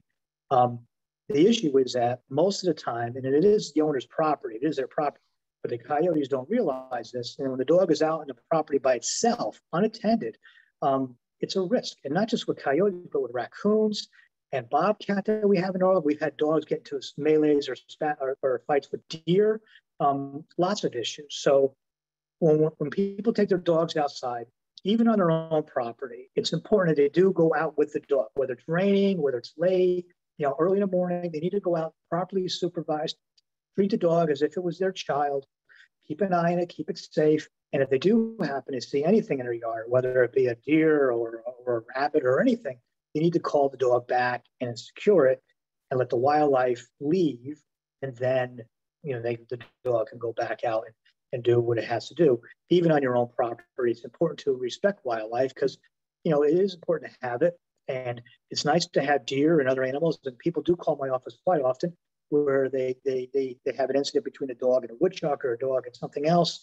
And I'm like, you know, it, you know, they are important to have wildlife and you know, it is your property, but you should make some effort to at least coexist with your wildlife neighbors uh, in order just to do the right thing and be a, a, a positive and productive person and citizen. Revolus. So yes. I just wanted to say I'm really happy of the last point you said, um, coexisting with our natural friends, right? Um, yes. I um, quick question. I there's a question and a comment the comment is I think this would also be a great thing to add to our walkability, especially if you're a hug. You know, we've joked, um, especially Councilman Keegan being a tree hugger. If you're a tree hugger, holistic community, our, our nature, our natural friends are part of that. So in those walkability things of educating not only what's growing around here, what's living around here too, would probably be good with this whole wanting to make it more walk friendly, right? So I was just, I thought that would also be a great add. And then secondly, your input, especially with the dogs, particularly within my area, I'm a dog lover. I'm a nature lover. I'm a nature lover. Period. But um, the increase of dogs, especially small dogs in our area, has gone up, and this yeah. is also a great, you know, a great point in reference when I have people who call me and say, "Well, why can't we bring our dogs to parks?" You know what I mean? This is a great point of con um, point of reference to bring up, especially with the coexisting and what a small animal can bring right? But my concern is there's a lot of dogs I've actually seen now. I've seen four small dogs just running and not secured, and we had to find the owner or this and that. How does those type of situations coming in attract animals that are, aren't usually like, let's say, in a downtown area, or then that's because our dog population has increased. Yes. Uh, so with with COVID, uh, we've had a, a, large uptick in smaller sized dogs. Smaller mm-hmm. sized dogs are very convenient. They're small. You can put them into a smaller space. They're easy to clean up after. They they don't eat as much. Um, a lot of the new ones, these new designer breeds, I guess you would call them, they're really not a breed, but they're just a, a, a mutt. But they, they're a designer yeah, breed. hybrid mutt. Yeah. Cost a small yeah. fortune. Um, you know, people dress them up, they shave them, they do different kind of artsy kind of stuff with them to do their nails. Um, and what, what we're having is, is a big uptick with a lot of these smaller dogs. I mean, you know, for, for many years you had like, you know, you had your larger dogs and some small dogs, but a lot, mostly were larger dogs. and now we, we much more, much more, what's that? They were more yeah. like wolves, so they were competition, right? But now we got all these little guys. So, so you have situations where you know people again they let their dogs off leash, uh, you know, at the parks. They we, we we've had a lot of cases where you know people go to the park, and I, I've, I've picked up dogs. I've picked up dogs from like you know Taylor Farm or etc. or Cranberry Park, and you know I'll wait five or ten minutes. Someone will call and they'll say that we had found a stray dog, and I'll show up and I'll pick it up, and then I'll wait a few moments, five, ten minutes at the you know at the location, and hoping someone will come looking for it. And then they don't. So then I leave. I take the dog with me back to the pound. and I get a phone call like an hour later saying that someone had stolen their dog. And I would right. say, I know exactly who stole the dog. That would be me because it was stray running around about an hour ago. Where you been? So you know. So at the end of the day, again, you know, it's very important for people to understand that we do have to share our environment, you know, with each other and wildlife and nature. And it is important to be a responsible person and, you know, and, and not allow your, your dog, large or small, to wander off without your knowledge and not go looking for it, you know, for quite a long period of time. Because, and even in a short period of time, you know, something could happen. And the longer the time span goes, the more opportunities for something to happen, which is which is not, you know, not what you want. So, you know, to answer your question is that, you know, we do have wildlife. You know, does the smaller dogs bring in the, the wildlife? I would say no, but we do. We have had a major uptick in smaller dogs, especially with all the with the the condos, and the apartment complexes that are being built in Norwalk. Uh, all over the place. You know, these units are smaller, you know, one, two bedroom, and people are, it's much easier to, to bring in a smaller dog that's five, 10 pounds than a larger, you know, 50, 60 pound dog into those units. So that's also part of the reason that uh, that we've had an uptick in the smaller breeds. And just just with those, the bear is 211. And just last question, with the uptick, would their um their uh what's the word I'm looking for? Like their scent, meaning um urine or feces. Mm-hmm. Sure. In that uptick, would that mm-hmm. also be any like attraction?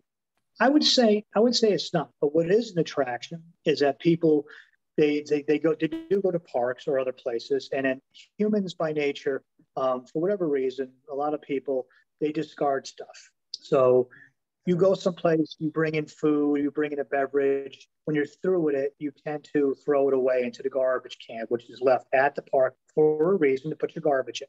The issue is that the, the garbage goes in there and that does the garbage does attract does attract wildlife to the garbage can in the, in the park.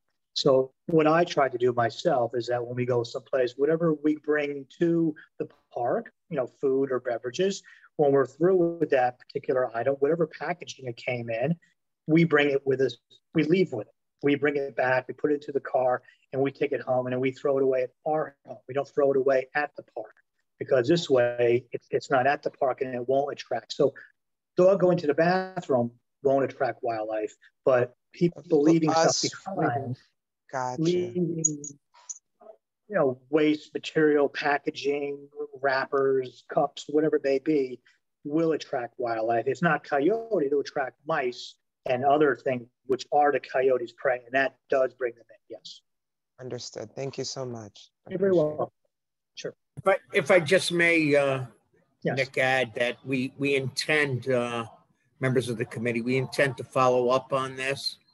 Um, ask animal control to help us uh, provide uh, a handout so that when um, residents come at uh, dog license time, that they get a little handout prepared by uh, uh, Bob, if, if he helps us, and, and um, given out by the town clerk's office. Rick McQuaid has already agreed to be involved in it. So uh, I think this is a good thing, and I, th I think it'll be good for our residents.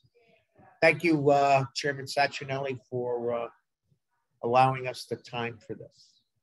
Yeah, I think it was a great, uh, great topic and a great discussion. Um, thank you for bringing it up.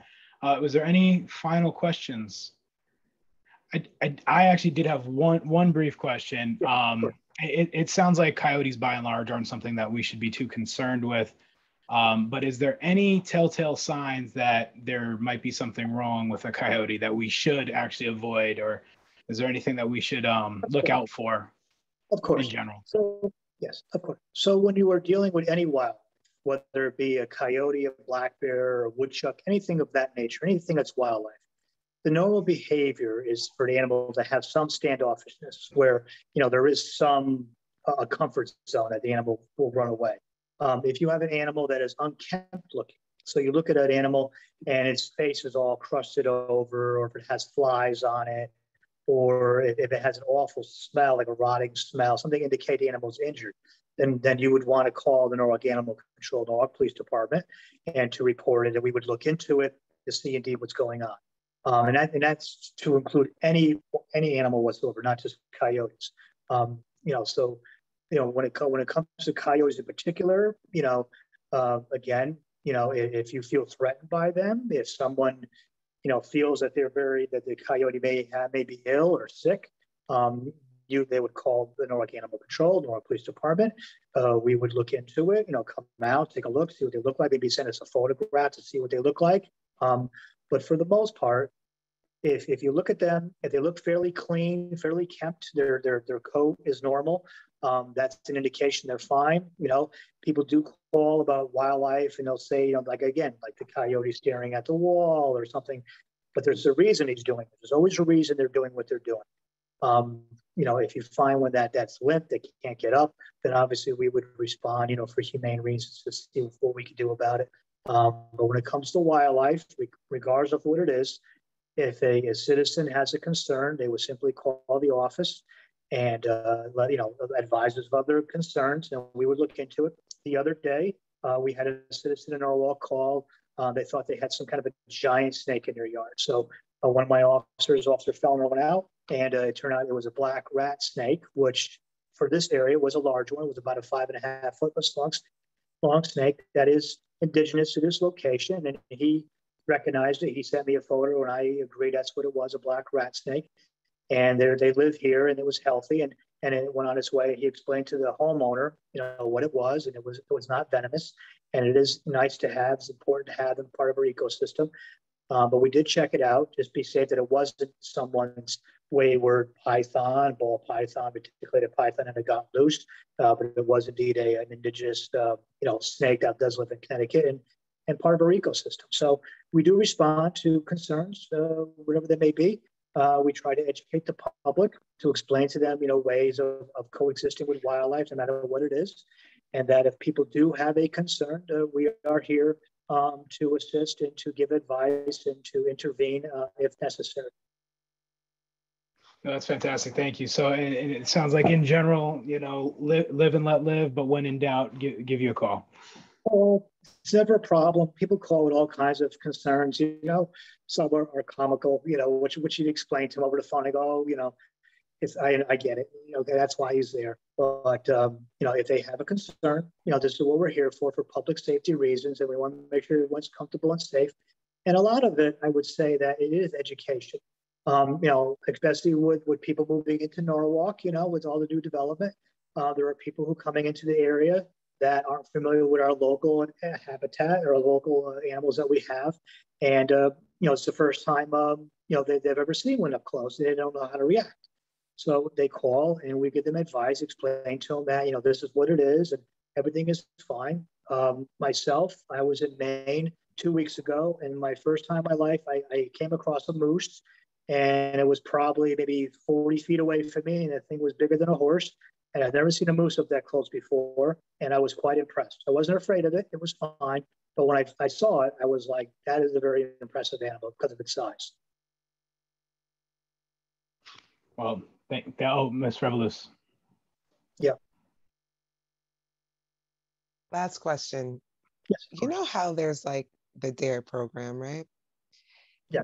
Does animal control have anything that they do like in or can there be not only just these pamphlets, but like I think this should be something we're like educating even in our younger just to know who's indigenous or animals that are indigenous to this area.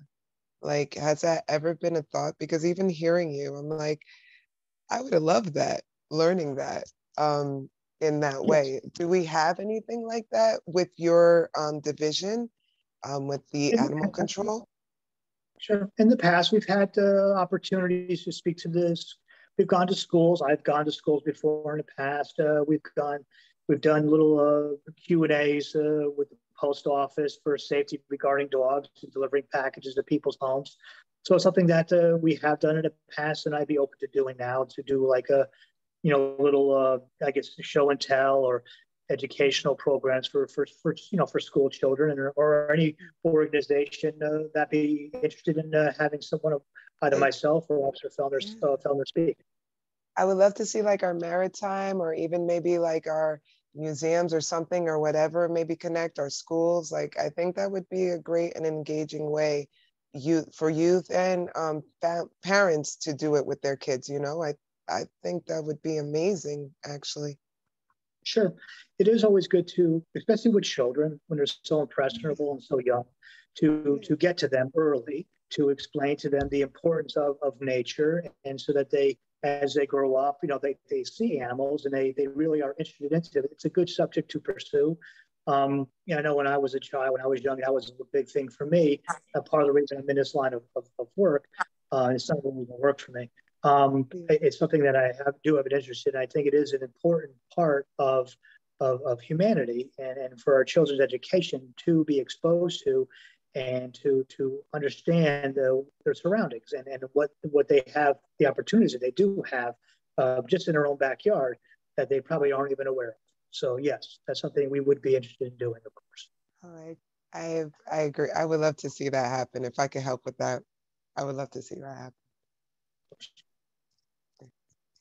Thank you for your uh, time. Yeah, Robert, that was that was fantastic. I, I, actually learned a lot more than I was expecting to. This was an interesting topic, and you brought a, a lot of good information. Um, I I guess it's one of those things that you just don't know what you don't know, and you draw assumptions based on I don't know what. But I, I definitely learned a lot this evening. So thank you for joining us.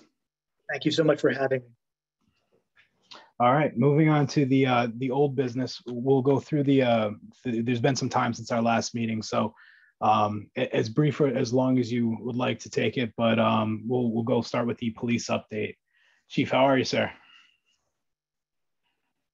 Good. Uh, good evening. I just first thing I want to say is we're extremely fortunate to have Bob. Um, he's a he's as you see he's a professional. He knows his job, yeah. but he just doesn't know his job. He does his job. I send him a lot of emails and uh, calls from residents about different topics, and he never says no. He always just jumps on it. He does things that are outside of his scope. And uh, so I just want to congratulate him on a great job always. And he was our assistant uh, dog warden, assistant ACO for many years.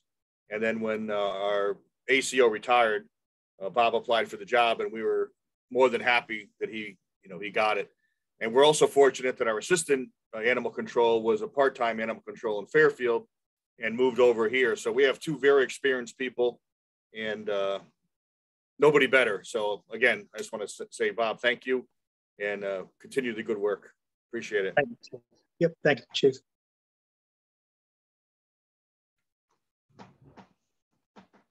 Thank you, uh, Chief. On the um, did, were there any police updates that you wanted to go over, or um, from the standard discussion items?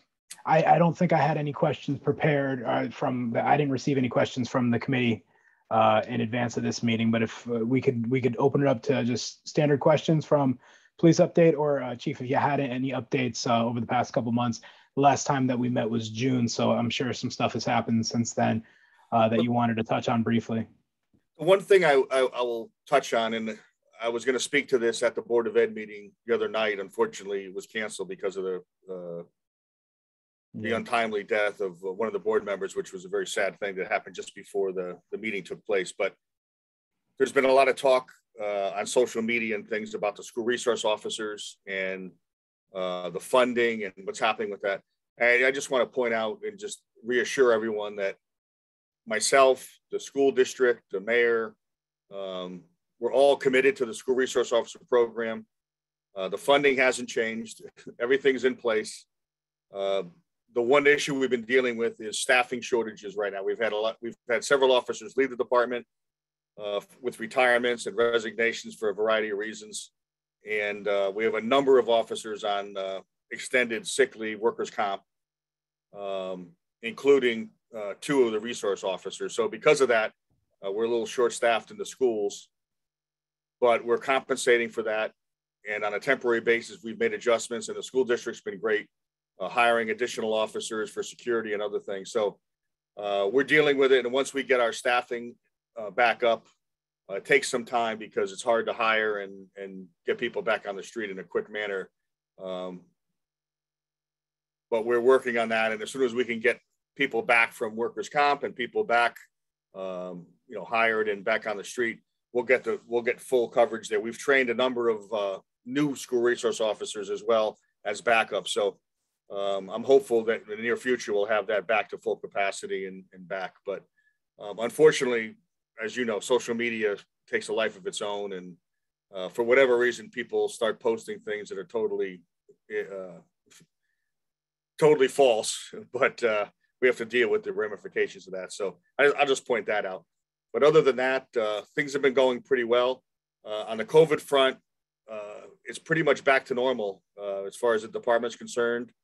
We have, I don't think right now we have no one out with COVID. We've had very little issues with that. Um, our call volume has increased a little bit. It's still down quite a bit from what it was pre-COVID back in 2019. I can't believe it's been a year and a half already, but uh, 2019, our, if you compare the numbers, our volume is down considerably uh, since then. Um, but otherwise, uh, aside, aside from the staffing issues, things have been pretty going pretty well. Thank you. Uh, Ms. Revolus. But and okay, um, I just wanted to say my only question was going to be with the resource uh, officers. So thank you for just opening that up. Um, I just wanted to give a special shout out to all of the resource officers that we do have working, but in particularly Officer Cornell. Um, he does an amazing job um, for Roton and Brien McMahon. Um, I just wanted to ask another question about engagement. So I still stop uh, police officers in their car at the bus stop um, just to say, hey, why are you in your car? So um, I'm just wondering how is it looking with engagement and, you know, the ropes with that. I know you guys are pressed, like obviously with um, the lack of officers, but just wondering how um, police engagement with the community has went or even with that virtual um, program that you said you guys would have um, with us seeing what an officer goes through i was what is the playback of having the officer see how we would feel towards officers just just that engagement i was wondering how was it going? Yeah i'm not sure about the virtual thing. I think i can't remember the, it. I can't remember it i think you might be talking about the use of force simulator maybe? I think so. I think so. I think yeah. so. So, I think so. that's been installed. We have that in the police department. It's been installed, and we've had our officers trained as instructors, uh, which took a little time. But we're now just starting to roll that out and have the training on that. Uh, not the training, but the actual training of officers on that system.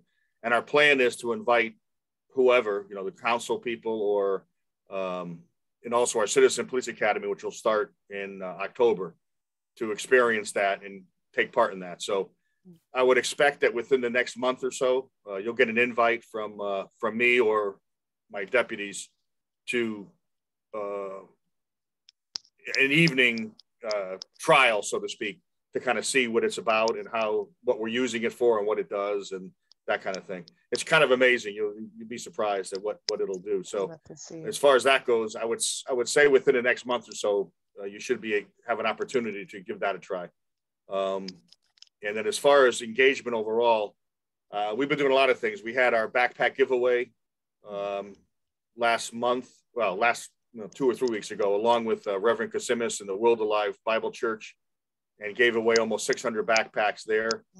Uh, the National Night Out we had in uh, last month in August that was, was a real a huge success. We had yeah, hundreds of people that came. Um, kind of surprising because it was we weren't sure if we were going to have it with COVID and the restrictions, and so we didn't plan it early on. But when we got to go the go ahead to you know to do it, um, uh, our officers in a community policing unit really stepped up and brought it brought together community organizations along with a number of restaurants and uh, it was a beautiful. We had a lot of food and you know variety of kids uh, kids programs, a magician, the bounce house, the a lot of things. So um, things are starting as COVID hopefully is looking better and better.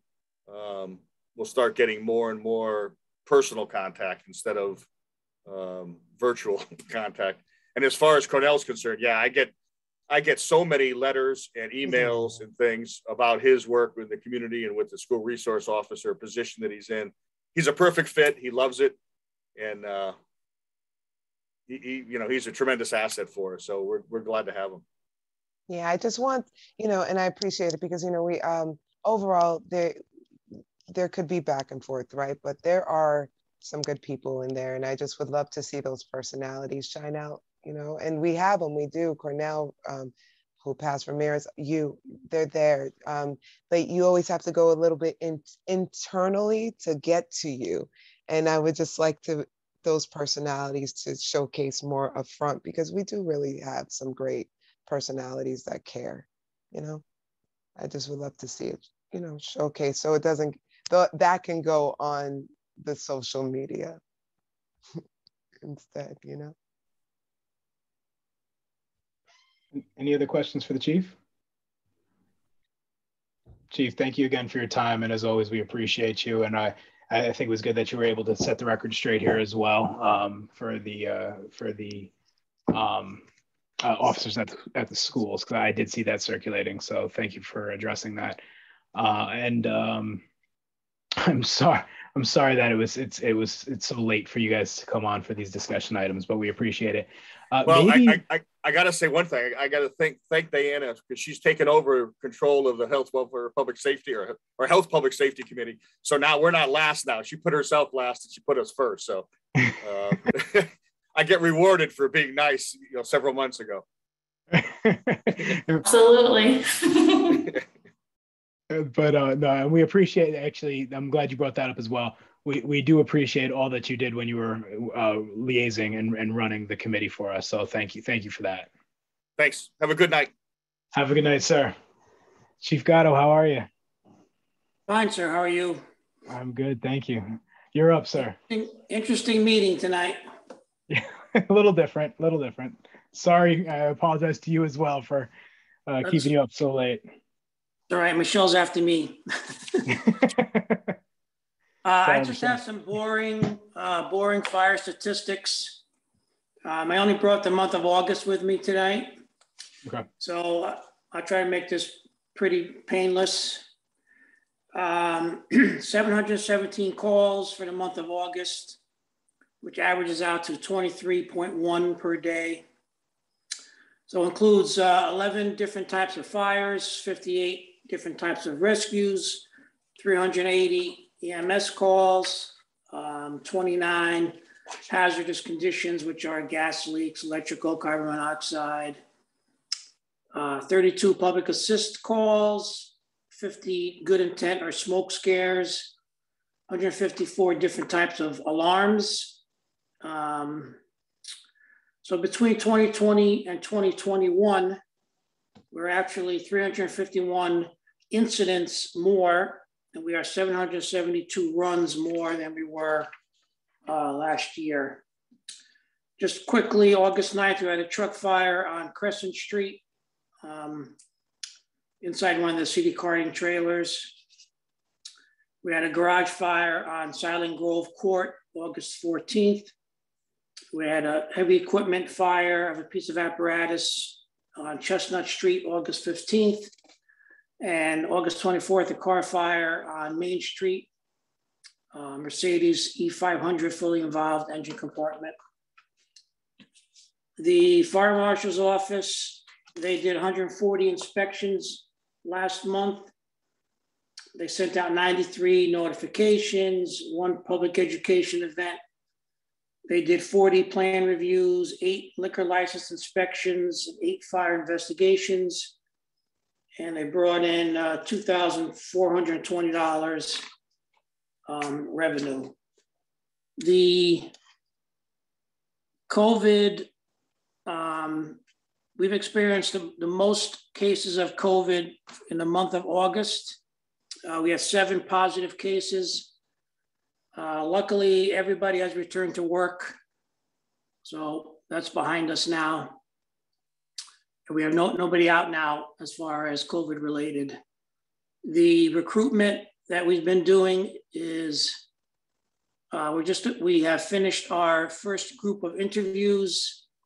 Uh, we've given 12 conditional offers of employment. Uh, everybody accepted, and we're starting orientation for six days on September 30th.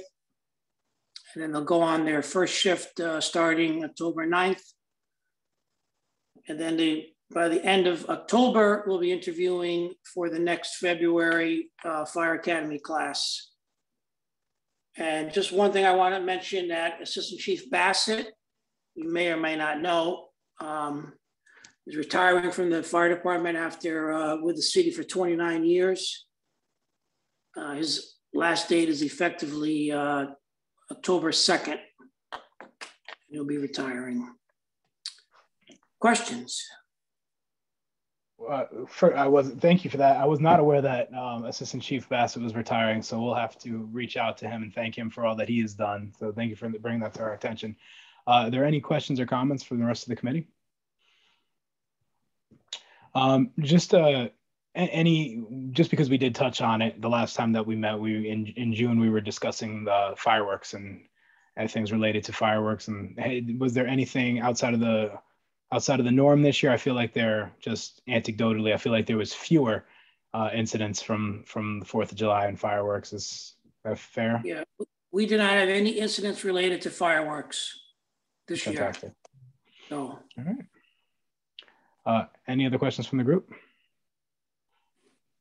All right, Chief. Thank thank you again as always. It's great seeing you. Appreciate Welcome. the update. Thank you. Have, thank you. Have a good evening, sir. You too.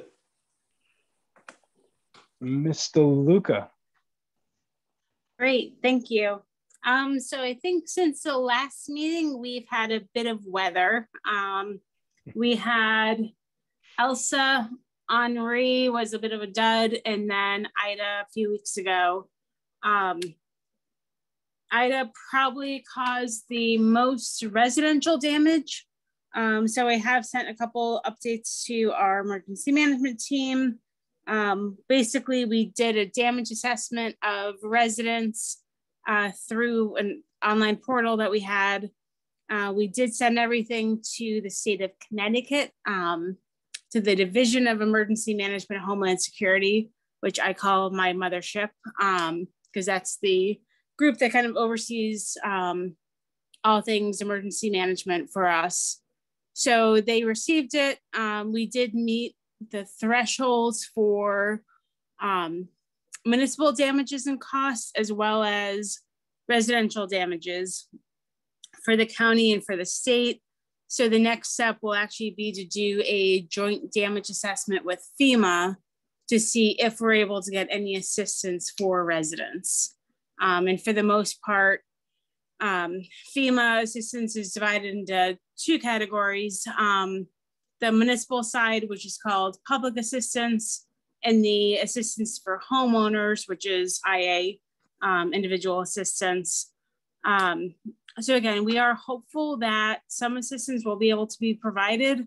Um, cautiously optimistic. if for any reason FEMA denies it, the state could either appeal or sometimes small business administration will make uh, low interest loans available for homeowners. So right now it's a bit of a waiting game. Um, I have been in regular communication with the folks that did send in their damage reports, and we've also tried to put some information up on the website and social media to let folks know what's happening. Um, as opposed to New York and New Jersey, Louisiana, um, where the damage is so visible and, and obvious. Connecticut, we were impacted, but it wasn't quite on the same scale.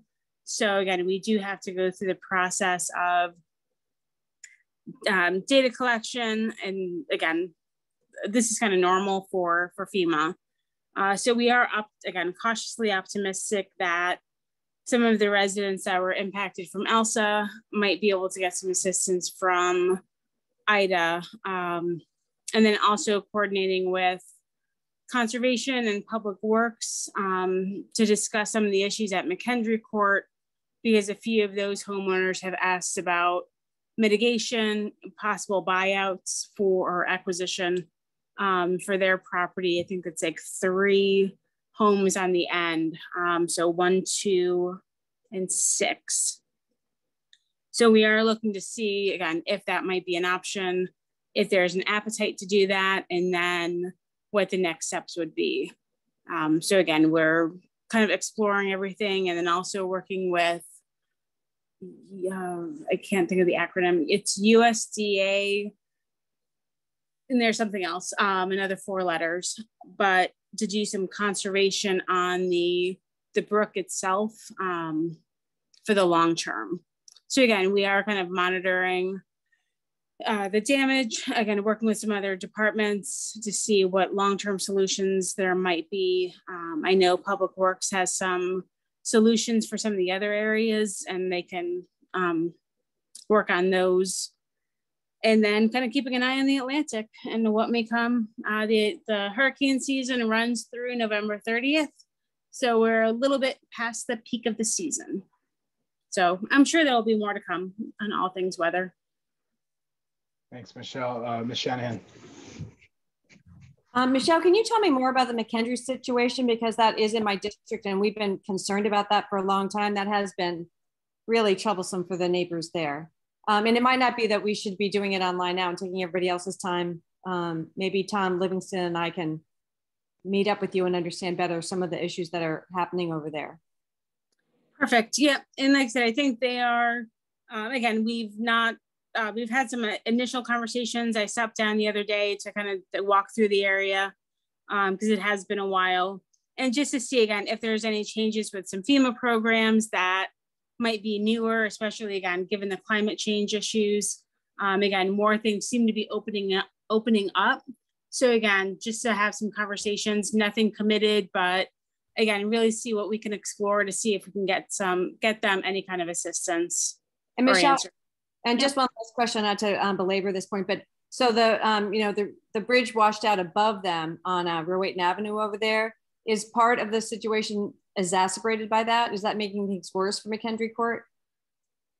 It doesn't seem like it. Um, again, I know the public works engineering folks have looked into it. Um, again, I, I know with Ida, there was just so much rain in such a short time. Um, again, Elsa to the same degree. Um, so part of it is, you know, is this just like a natural like narrowing of the the river? Um, again, the the speed of the water, the the height. Um, you know, is did everything just compound for that storm and make it that much worse? Or again, my, my worry with all things climate is, you know, this we're going to see these events more often with the severity. And again, I think being able to have the conversation with them of, you know, it's, you know, what are they looking for? You know, what is, what some of the options might be that weren't there years ago um, that we can explore with them. But again, super nice residents. Um, yeah. And like I said, it's see what we can do for them. Okay, great. So I think if you don't mind, Tom and I will circle back with you and get a little bit more information. Perfect. Sounds good. Thank you very much. Thank you. all Have a great night. Uh, Michelle, Michelle, quick question yep. before you hop off. Um, are you still soliciting uh, information from residents that were impacted by the storms, or is it is it useful to pass those cases along to you, or is it we did we pass a date? Yeah, um, for the most part, it's we passed a date. We were just trying to do an initial assessment to see if we hit that first threshold. Um, the next thing is a few years ago, Public Works and us um, split the costs because I'm cheap on everything and I like to split uh, share costs with that when I can. Um, so for, it's for a program called Crisis Tracks. So Public Works uses it a lot for their equipment, staffing, um, and again, tracking of a lot of their more detailed costs. And again, on my, ben my benefit is the residential portal. So pretty much as soon as we knew the extent of Ida, um, based on the calls and again, what we were seeing, I was able to turn that portal on even before the state actually asked us to do damage assessments. So we probably had a little more than an extra week to collect that data. Um, and that's just again a fantastic resource that we have. Once the once the portal is closed, um, again we submit the numbers, and then you know FEMA kind of looks at it from there. Um, only if they said you know you guys are kind of on the threshold, try to get more data, then we might open it back up again and resolicit. But again, we seem to kind of be where we needed to be um, as a county and then as a state because they're looking only for homes that are either destroyed or have major damage um, per the, the FEMA guidelines. So we're in pretty good shape. Uh, Ms. Shanahan. Just to follow up again on another um, section of my constituency, because when um, I've been out walking a lot and I noticed that um, Deepwood Lane in Knollwood also had a lot of damage. We were um, we had a lot of um, reports about that today. Is that um, are a lot of those houses on your radar screen or should we bring those to your attention? I, let me go back to the list. I think I may have had one or two for Deepwood. I don't believe I had any for Knollwood, but I can double check. Okay, that'd be great. And another place that we saw really extensive damage when we were out walking was Geneva Street. Okay, that I don't think we had any.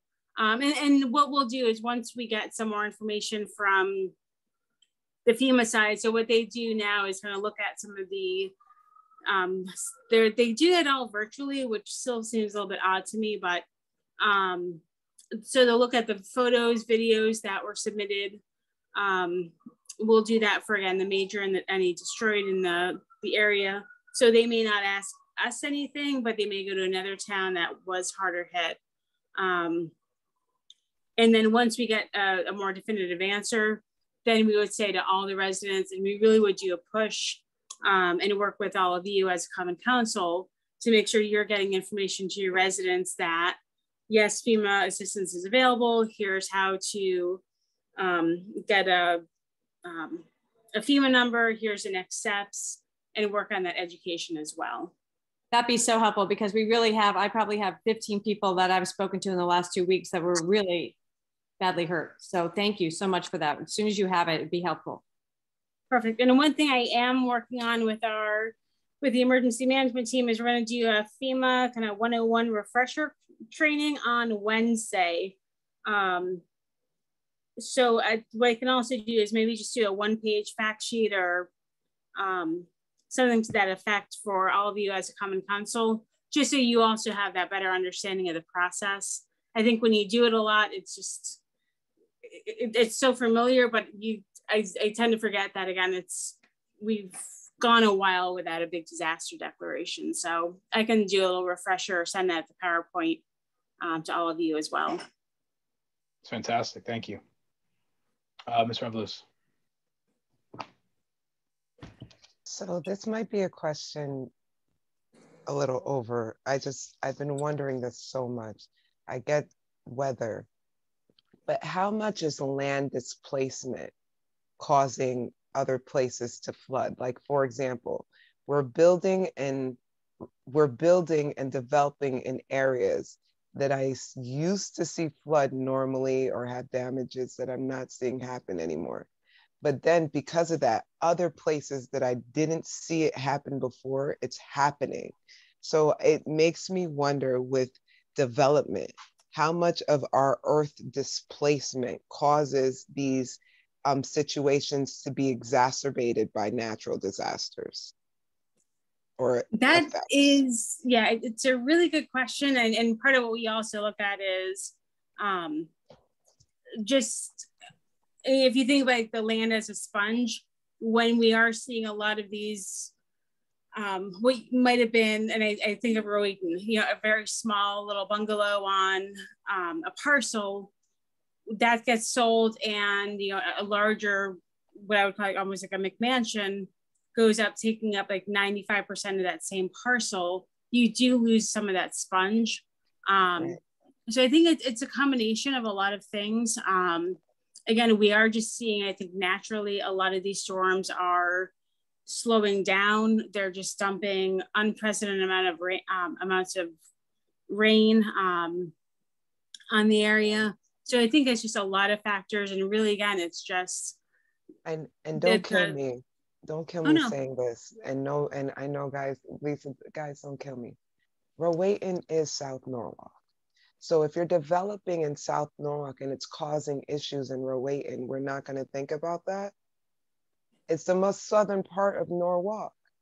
And you see it in other areas here. And like, so I'm just wondering, especially like we all are Norwalk. So if you build hmm. here, how does it affect here? You know what I mean? Like if if I'm seeing you are flooding here more, but I'm not seeing water on Water Street anymore at all. What's going on? You know what I mean? If I'm seeing other pockets like literally um i i don't i'm forgetting the intersection um but i was so surprised how underwater this four-way intersection was and i just i i know it's downhill but i just never realized how deep it was till now and again there's places that aren't normally flooding that is notorious for its flooding and i'm just wondering how that displacement in developing is causing other areas to have problems because the whole place and this whole space is a sponge. Mm. So yeah. um, I'm just wondering. And I can I can reach I, I, I, respectful of the time um because yes, it is such a bigger issue um yes, that again maybe we can have some conversations with public works as well because then we didn't really see as much of an issue on water street with ida Whereas with Elsa, it, it was, again, it, it was Water Street. Um, right. So again, it is some of the variation of, you know, also where the band, the rain bands are coming, where they're sitting. Um, and it's just, again, our neighboring communities had even higher amounts of rain. And then, you know, two towns up, um, it, it was much less significant. So it, it is, again, I think a, a matter of the system, but then also again, we're we're just seeing again an event like that where it's just there is no way for the drainage system or wastewater treatment, um, the overall system, just to be able to keep up with that. And again, what changes have to be made. Um, but again, it, it is, I mean, it, it, it's a holistic approach. It's like mm-hmm. things do impact each other. Um, mm-hmm. But I can I can try to find a get a better explanation, kind of maybe with Public Works um, have one of the engineers come and probably explain a little bit better or, or with conservation. Um, because again, it is, I mean, it's a fascinating conversation. Um, but again, I, I know it's, it is late right now as well. Sorry for throwing that at you. Thank you so much for dealing with no, that. Michelle, thank you, thank you again for the report. It's, uh, uh, you know me personally, I find all of the uh, all of the weather related uh, topics very very interesting, and the response to it. And um, you you are awesome, and we appreciate you. So thank you for all that you do, and thank you for joining us tonight. Great, thank you. Have a good night, everybody. Have a good night. And last up, how are you? Sorry. all good, all good. All great stuff tonight. Um, good evening, everyone. Um, so I'll give a quick health department update, and then Brian Weeks is on our epidemiologist. He can, and since it's been a couple of months since we've gotten a COVID update, he can let you know where we are with cases. Um, so flu season is coming up. And so I just wanted to highlight some of the flu clinics that we have going on. We're going to have one on uh, Tuesday, October 5th at Brien McMahon High School from 5 to 7 p.m. And then we're also going to have one at the Norwalk Senior Center at um, Thursday, October 7th from 11 to 1 p.m. We are asking for people to make appointments, and we have information on our website. If you go um, to our website, norwalkct.org backslash flu, you can find more information about making an appointment. Um, after we have those community clinics, we are going to have weekly uh, scheduled times where people can make appointments as well to get uh, their flu shot throughout the season. Um, for COVID-19 vaccination, um, next Wednesday is going to be our last clinic at the Maritime Center from 5 to 7 p.m. and we'll be offering Moderna and Pfizer. And following that, we'll be offering second dose appointments for those who came for their first dose with us um, at the health department. So they'll be able to make an appointment with us.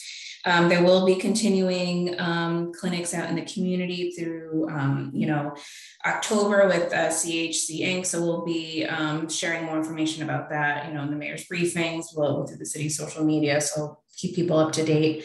Um, we had a lot of uh, success this summer um, with our vaccine equity partnership funding. many of you have heard, heard about that before, but with our partners, we had this, we had money from the state to fund Norwalk Community Health Center, Community Health Center Inc., um, and the Family and Children's Agency for the vaccine equity work.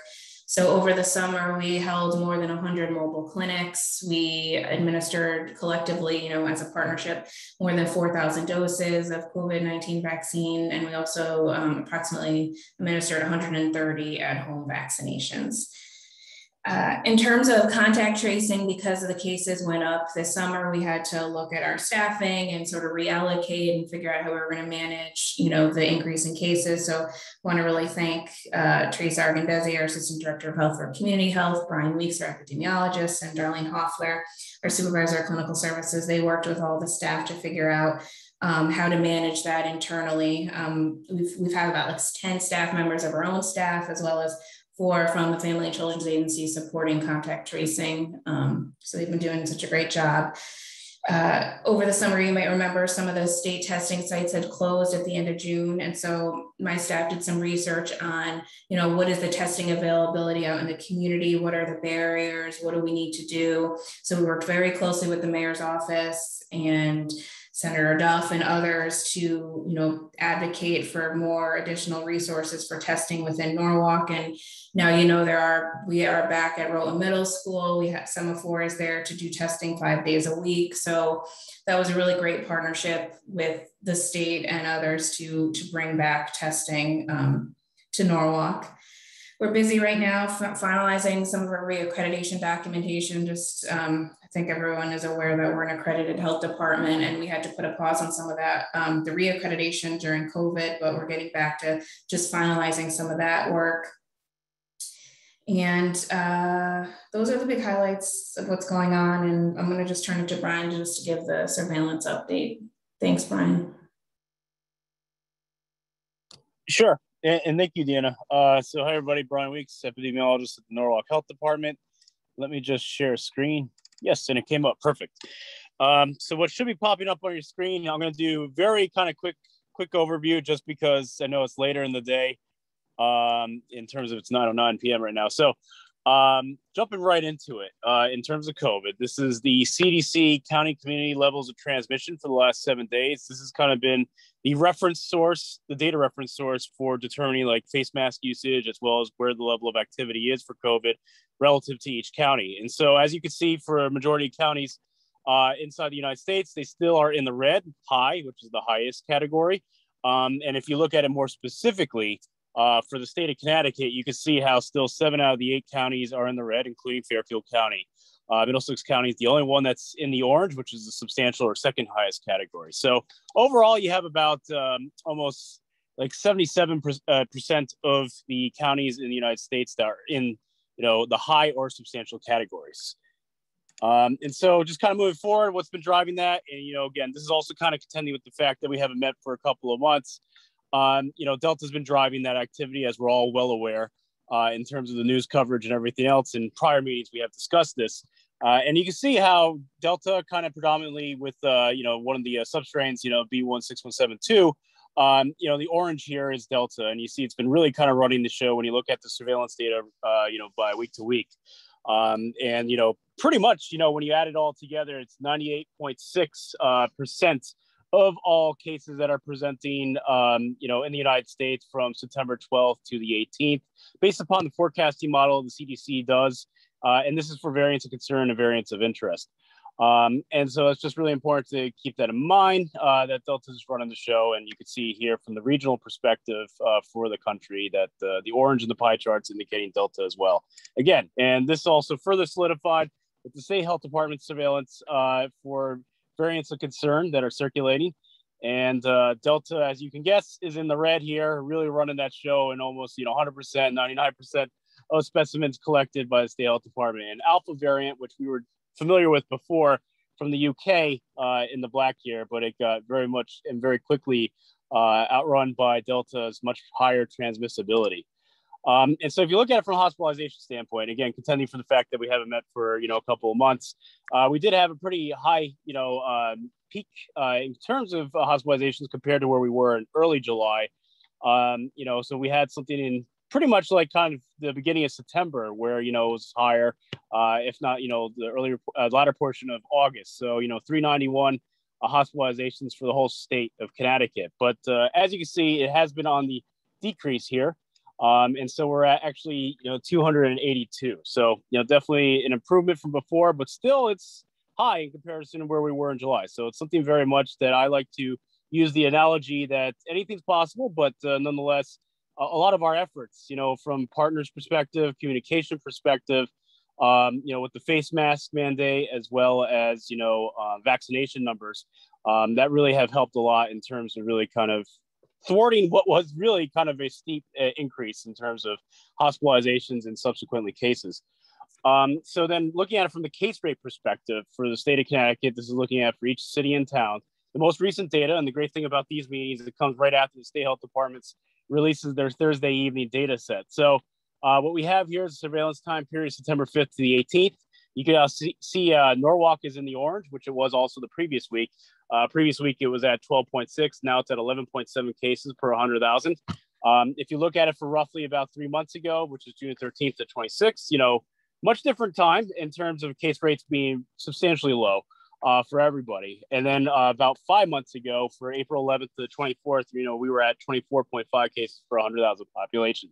So, um, you know, things are definitely, you know, at least decreasing from where it was before, but still there's, you know, decent amount of rampant activity in the state. And you can see how, you know, in terms of being the red, the highest category for the state's framework, uh, it's much more in the northeastern portion of the state. So we'll get into that a little bit more. But um, in terms of you know just the other data, you know, case rates were at 11.7 with 3.5 percent positivity uh, for the overall pandemic. For the data up to today, 12,469 cases, 232 deaths. Uh, if you look at it from the most recent two calendar weeks, September 5th to the 18th, uh, you can see actually there's a little bit of shift in terms of the age demographics. So 40 to 49 year old age group is at 20.4%, with the second highest at, you know, less than 10 years of age at 16.2%. And then, you know, about 15% for 50 to 59, 30 to 39. So usual suspects has usually been uh, 20 to 29 to 30 to 39. So that has shifted a bit, uh, which is a little bit more suggestive of families uh, that have obviously young kids potentially in school systems, uh, as we've also just been seeing in terms of contact tracing as well. Um, and so, from a vaccination standpoint, right, because this is what still one of our best tools to really mitigate, you know, seriousness uh, and complications from COVID, uh, you know, obviously infection, but also really kind of also helping reducing the risk of transmission too. Um, and so, you look here from the state health department's map of, you know, those receiving at least one dose of the vaccine or initiating vaccination. Uh, data up to September 22nd, you know, the city of Norwalk is at 73.98%. Um, if you look at fully vaccinated, we're at 67.37%. Uh, and so we're doing better than, you know, the state numbers as well as the majority of the state as well when you compare to other cities and towns. And you can see, and this is what I was trying to emphasize before, when those really high case rates, you can see how also the northeastern portion of the state has some of the lowest vaccination numbers as well. So kind of seems very strongly correlated as we've also been hearing in terms of the research and the news coverage. And so, kind of further building upon this, this is coming from the state health department. This is looking at unvaccinated versus fully vaccinated individuals. They calculate a risk based upon every week, so this does fluctuate, but based upon the most recent data they supplied for today, um, you know, if you're unvaccinated, you're at five times higher risk of COVID 19 infection compared to somebody that's fully vaccinated. Um, you're at six times higher risk of COVID 19 death, and then 13 times higher risk of COVID 19 hospitalization.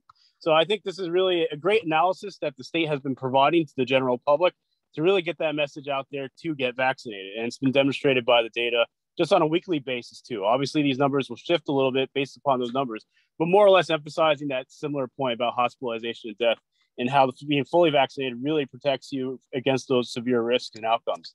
Um, so again, just emphasizing the point, check out our, you know, our COVID weekly report from the mayor, and uh, it comes out on our city webpage, our social media, Twitter and Facebook. Uh, these are the links. Uh, it's meant to be a very helpful resource for the community to use that data and make some decisions, as well as communicate it and relay it to the general community and their partners and their clientele. Uh, so we get the word out there so people are informed and so they know to take the proper action and that we are not over COVID. Uh, even with this somewhat this better news as of late, you know, anything could change. So again, the analogy that I've been kind of using is, um, you know, we have kind of like a tinderbox uh, set up and, you know, any sort of major change, like people suddenly not following face masks or something else, uh, misinformation that gets in the community, that could very much catalyze an increased activity as we were saw in just only like the earlier part of this month and subsequently also August. Um, and so the other thing I wanted to mention, uh, kind of just shifting gears a little bit, this is mosquito surveillance, just for everybody's knowledge. We're not out of mosquito, se- mosquito season two. Um, and so, you know, just keep in mind that the city of Norwalk had nine West Nile virus positive samples or pools of mosquitoes. Um, and we, uh, the state of Connecticut had three West Nile virus positive human cases. So they were in Bridgeport, Hartford, and West Haven. And what you can see here, just to emphasize this point in terms of mosquitoes, um, just kind of the um, the prevalence of the, these positive mosquitoes is mostly in the, the western, if not southwestern portion of the state. So just want to emphasize that point as well. Uh, and to Deanna's point about flu season, you know, flu season has started. This is from the CDC, very quick surveillance, uh, just by state. Uh, keep in mind that surveillance data from CDC for flu is a little old when it comes out, but looking at the week ending September 11th, um, you can see how you know the state of Connecticut is at minimal, pretty much the lowest category in terms of flu flu activity. So it's great to hear that there are still flu cases that are popping up here and there, um, but uh, definitely better than some other states. Uh, and you know, in the midst of COVID and the confusion that other respiratory illnesses can create, it's important to obviously have this in mind in the midst of even COVID kind of taking and running the show, so to speak. Uh, so that was a very quick and hopefully brief overview. Uh, we'll take any questions if you have any. All right, thank you. That was great, Dean. Uh, Deanna, thank you. Uh, do we have any questions from the group? Uh, Ms. Shanahan. I've got one quick question. So are there other variants that we ought to be listening for or worrying about, or is there any information about that? Yeah, excellent question. So again, Delta, as you saw with that data, uh, you know, and it's accounting for other surveillance uh, surveillance for other variants. Uh, Delta's running the show. Um, what's kind of the silver lining in all this, because you guys might have been hearing about like maybe Mu or you know C12 or Lambda or these other variants going around. A lot of them coming from South America. They do have a certain level of prevalence in the United States, but definitely not to the, level of uh, Delta. And so you know, and then also there's the other risk that you know variants are produced all the time, right? You know, somebody gets ill, the more people that get ill, and this is why this really emphasizes the need for prevention measures to be followed very strictly, and as well for contact tracing to be followed very strictly, and for vaccination to occur. Because the more people that get sick, the more opportunities that variants develop. And they happen all the time. They just don't have the perfect conditions to really spread uh, and increase, you know, their prevalence, and you know, like whether it's in a high density area like a city um, or if they have a higher transmissibility, like even more so than Delta. But we've been very fortunate so far that Delta has been more transmissible than most of the variants been coming out. And so it's out competing. This is a bit of a silver lining, it's, but it's out competing the others. So yes, we should still be very concerned about the risk of variants. Maybe not necessarily, you know, some of the other ones we've been hearing about, but they also have the potential to, you know, maybe cross over, whatever it is. You know, uh, COVID's obviously been a box of surprises and, so to speak, a Pandora's box. Uh, and so we really need to keep that in mind. But at the moment, um, you know, fortunately, Delta is running the show. And as long as nothing else is really higher in terms of transmissibility and doesn't have some other perfect conditions, like maybe a certain holiday that really helps a certain community really help spread it in the community, especially those that are unvaccinated and more susceptible, uh, you know, we're in a much better position than in some other ways than obviously compared to 2020 of last year when we didn't have the vaccine. So again, to summarize that, um, yes, we should still be very concerned about variants. Um, you know, there's always that risk of potential something else enters the picture, right? We all we thought we'd be COVID before before Delta entered the uh, the scene. Nonetheless, if we follow very strict prevention measures as still outlined, keep a close eye on the data because you know as the wintertime, the fall and wintertime approach, you know there's less opportunities to social distance, so there is increased opportunities for risk. Uh, and then vaccination, that's really our best tool that we should take full advantage of because that will really help mitigate uh, these opportunity for spread and also unnecessary outcomes in terms of hospitalizations and deaths. And therefore reducing the number of cases that increase the probability that a variant will present that you know really kind of outcompetes Delta and changes the game again, and we're back to square one. We really want to avoid square one because we've been through this rodeo a few times, and I think we should all have learned we don't want to deal with it anymore. We want life back to normal as much as we can. So hopefully that answers your question. Ms. Revolus. Um, so especially for an audience that's watching, and since we're coming to a cold season, again, um, I would emphasize nutrition being the basis of what we're talking about, especially coming into a holiday season when a lot of people is going to be eating probably not the best stuff right now, right? So um, I think, again, for our innate immune system, nutrition, um, pushing nutrition, speaking about what we should be eating to the immensity as you talk about these um, testing and vaccines should be a part um, I will always and forever push that.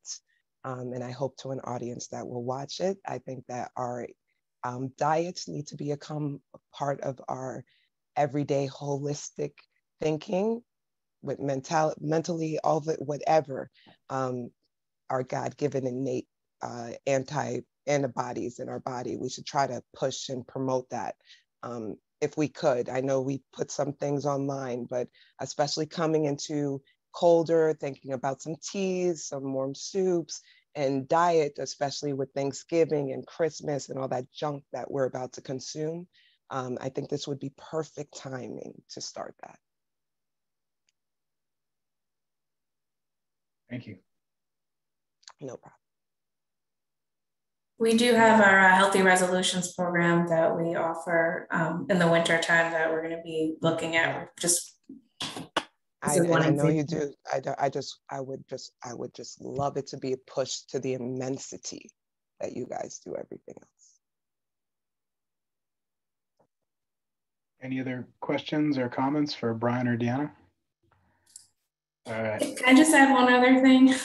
I'm looking forward to the future to, um, you know, as we still fight this pandemic, but to, to be fo- to be able to to again focus on all of the various health issues that are really important to our community. And so, you know, because we've been in this unprecedented time, we've had to, to focus so much on this pandemic, but Councilwoman Revolus, you know, absolutely like we want to be able to, and we have been doing the work, um, but moving forward, you know, we're looking at our updated community health assessment, looking at our internal strategic plan and thinking about all the other community health priorities, because there are many of them. Right.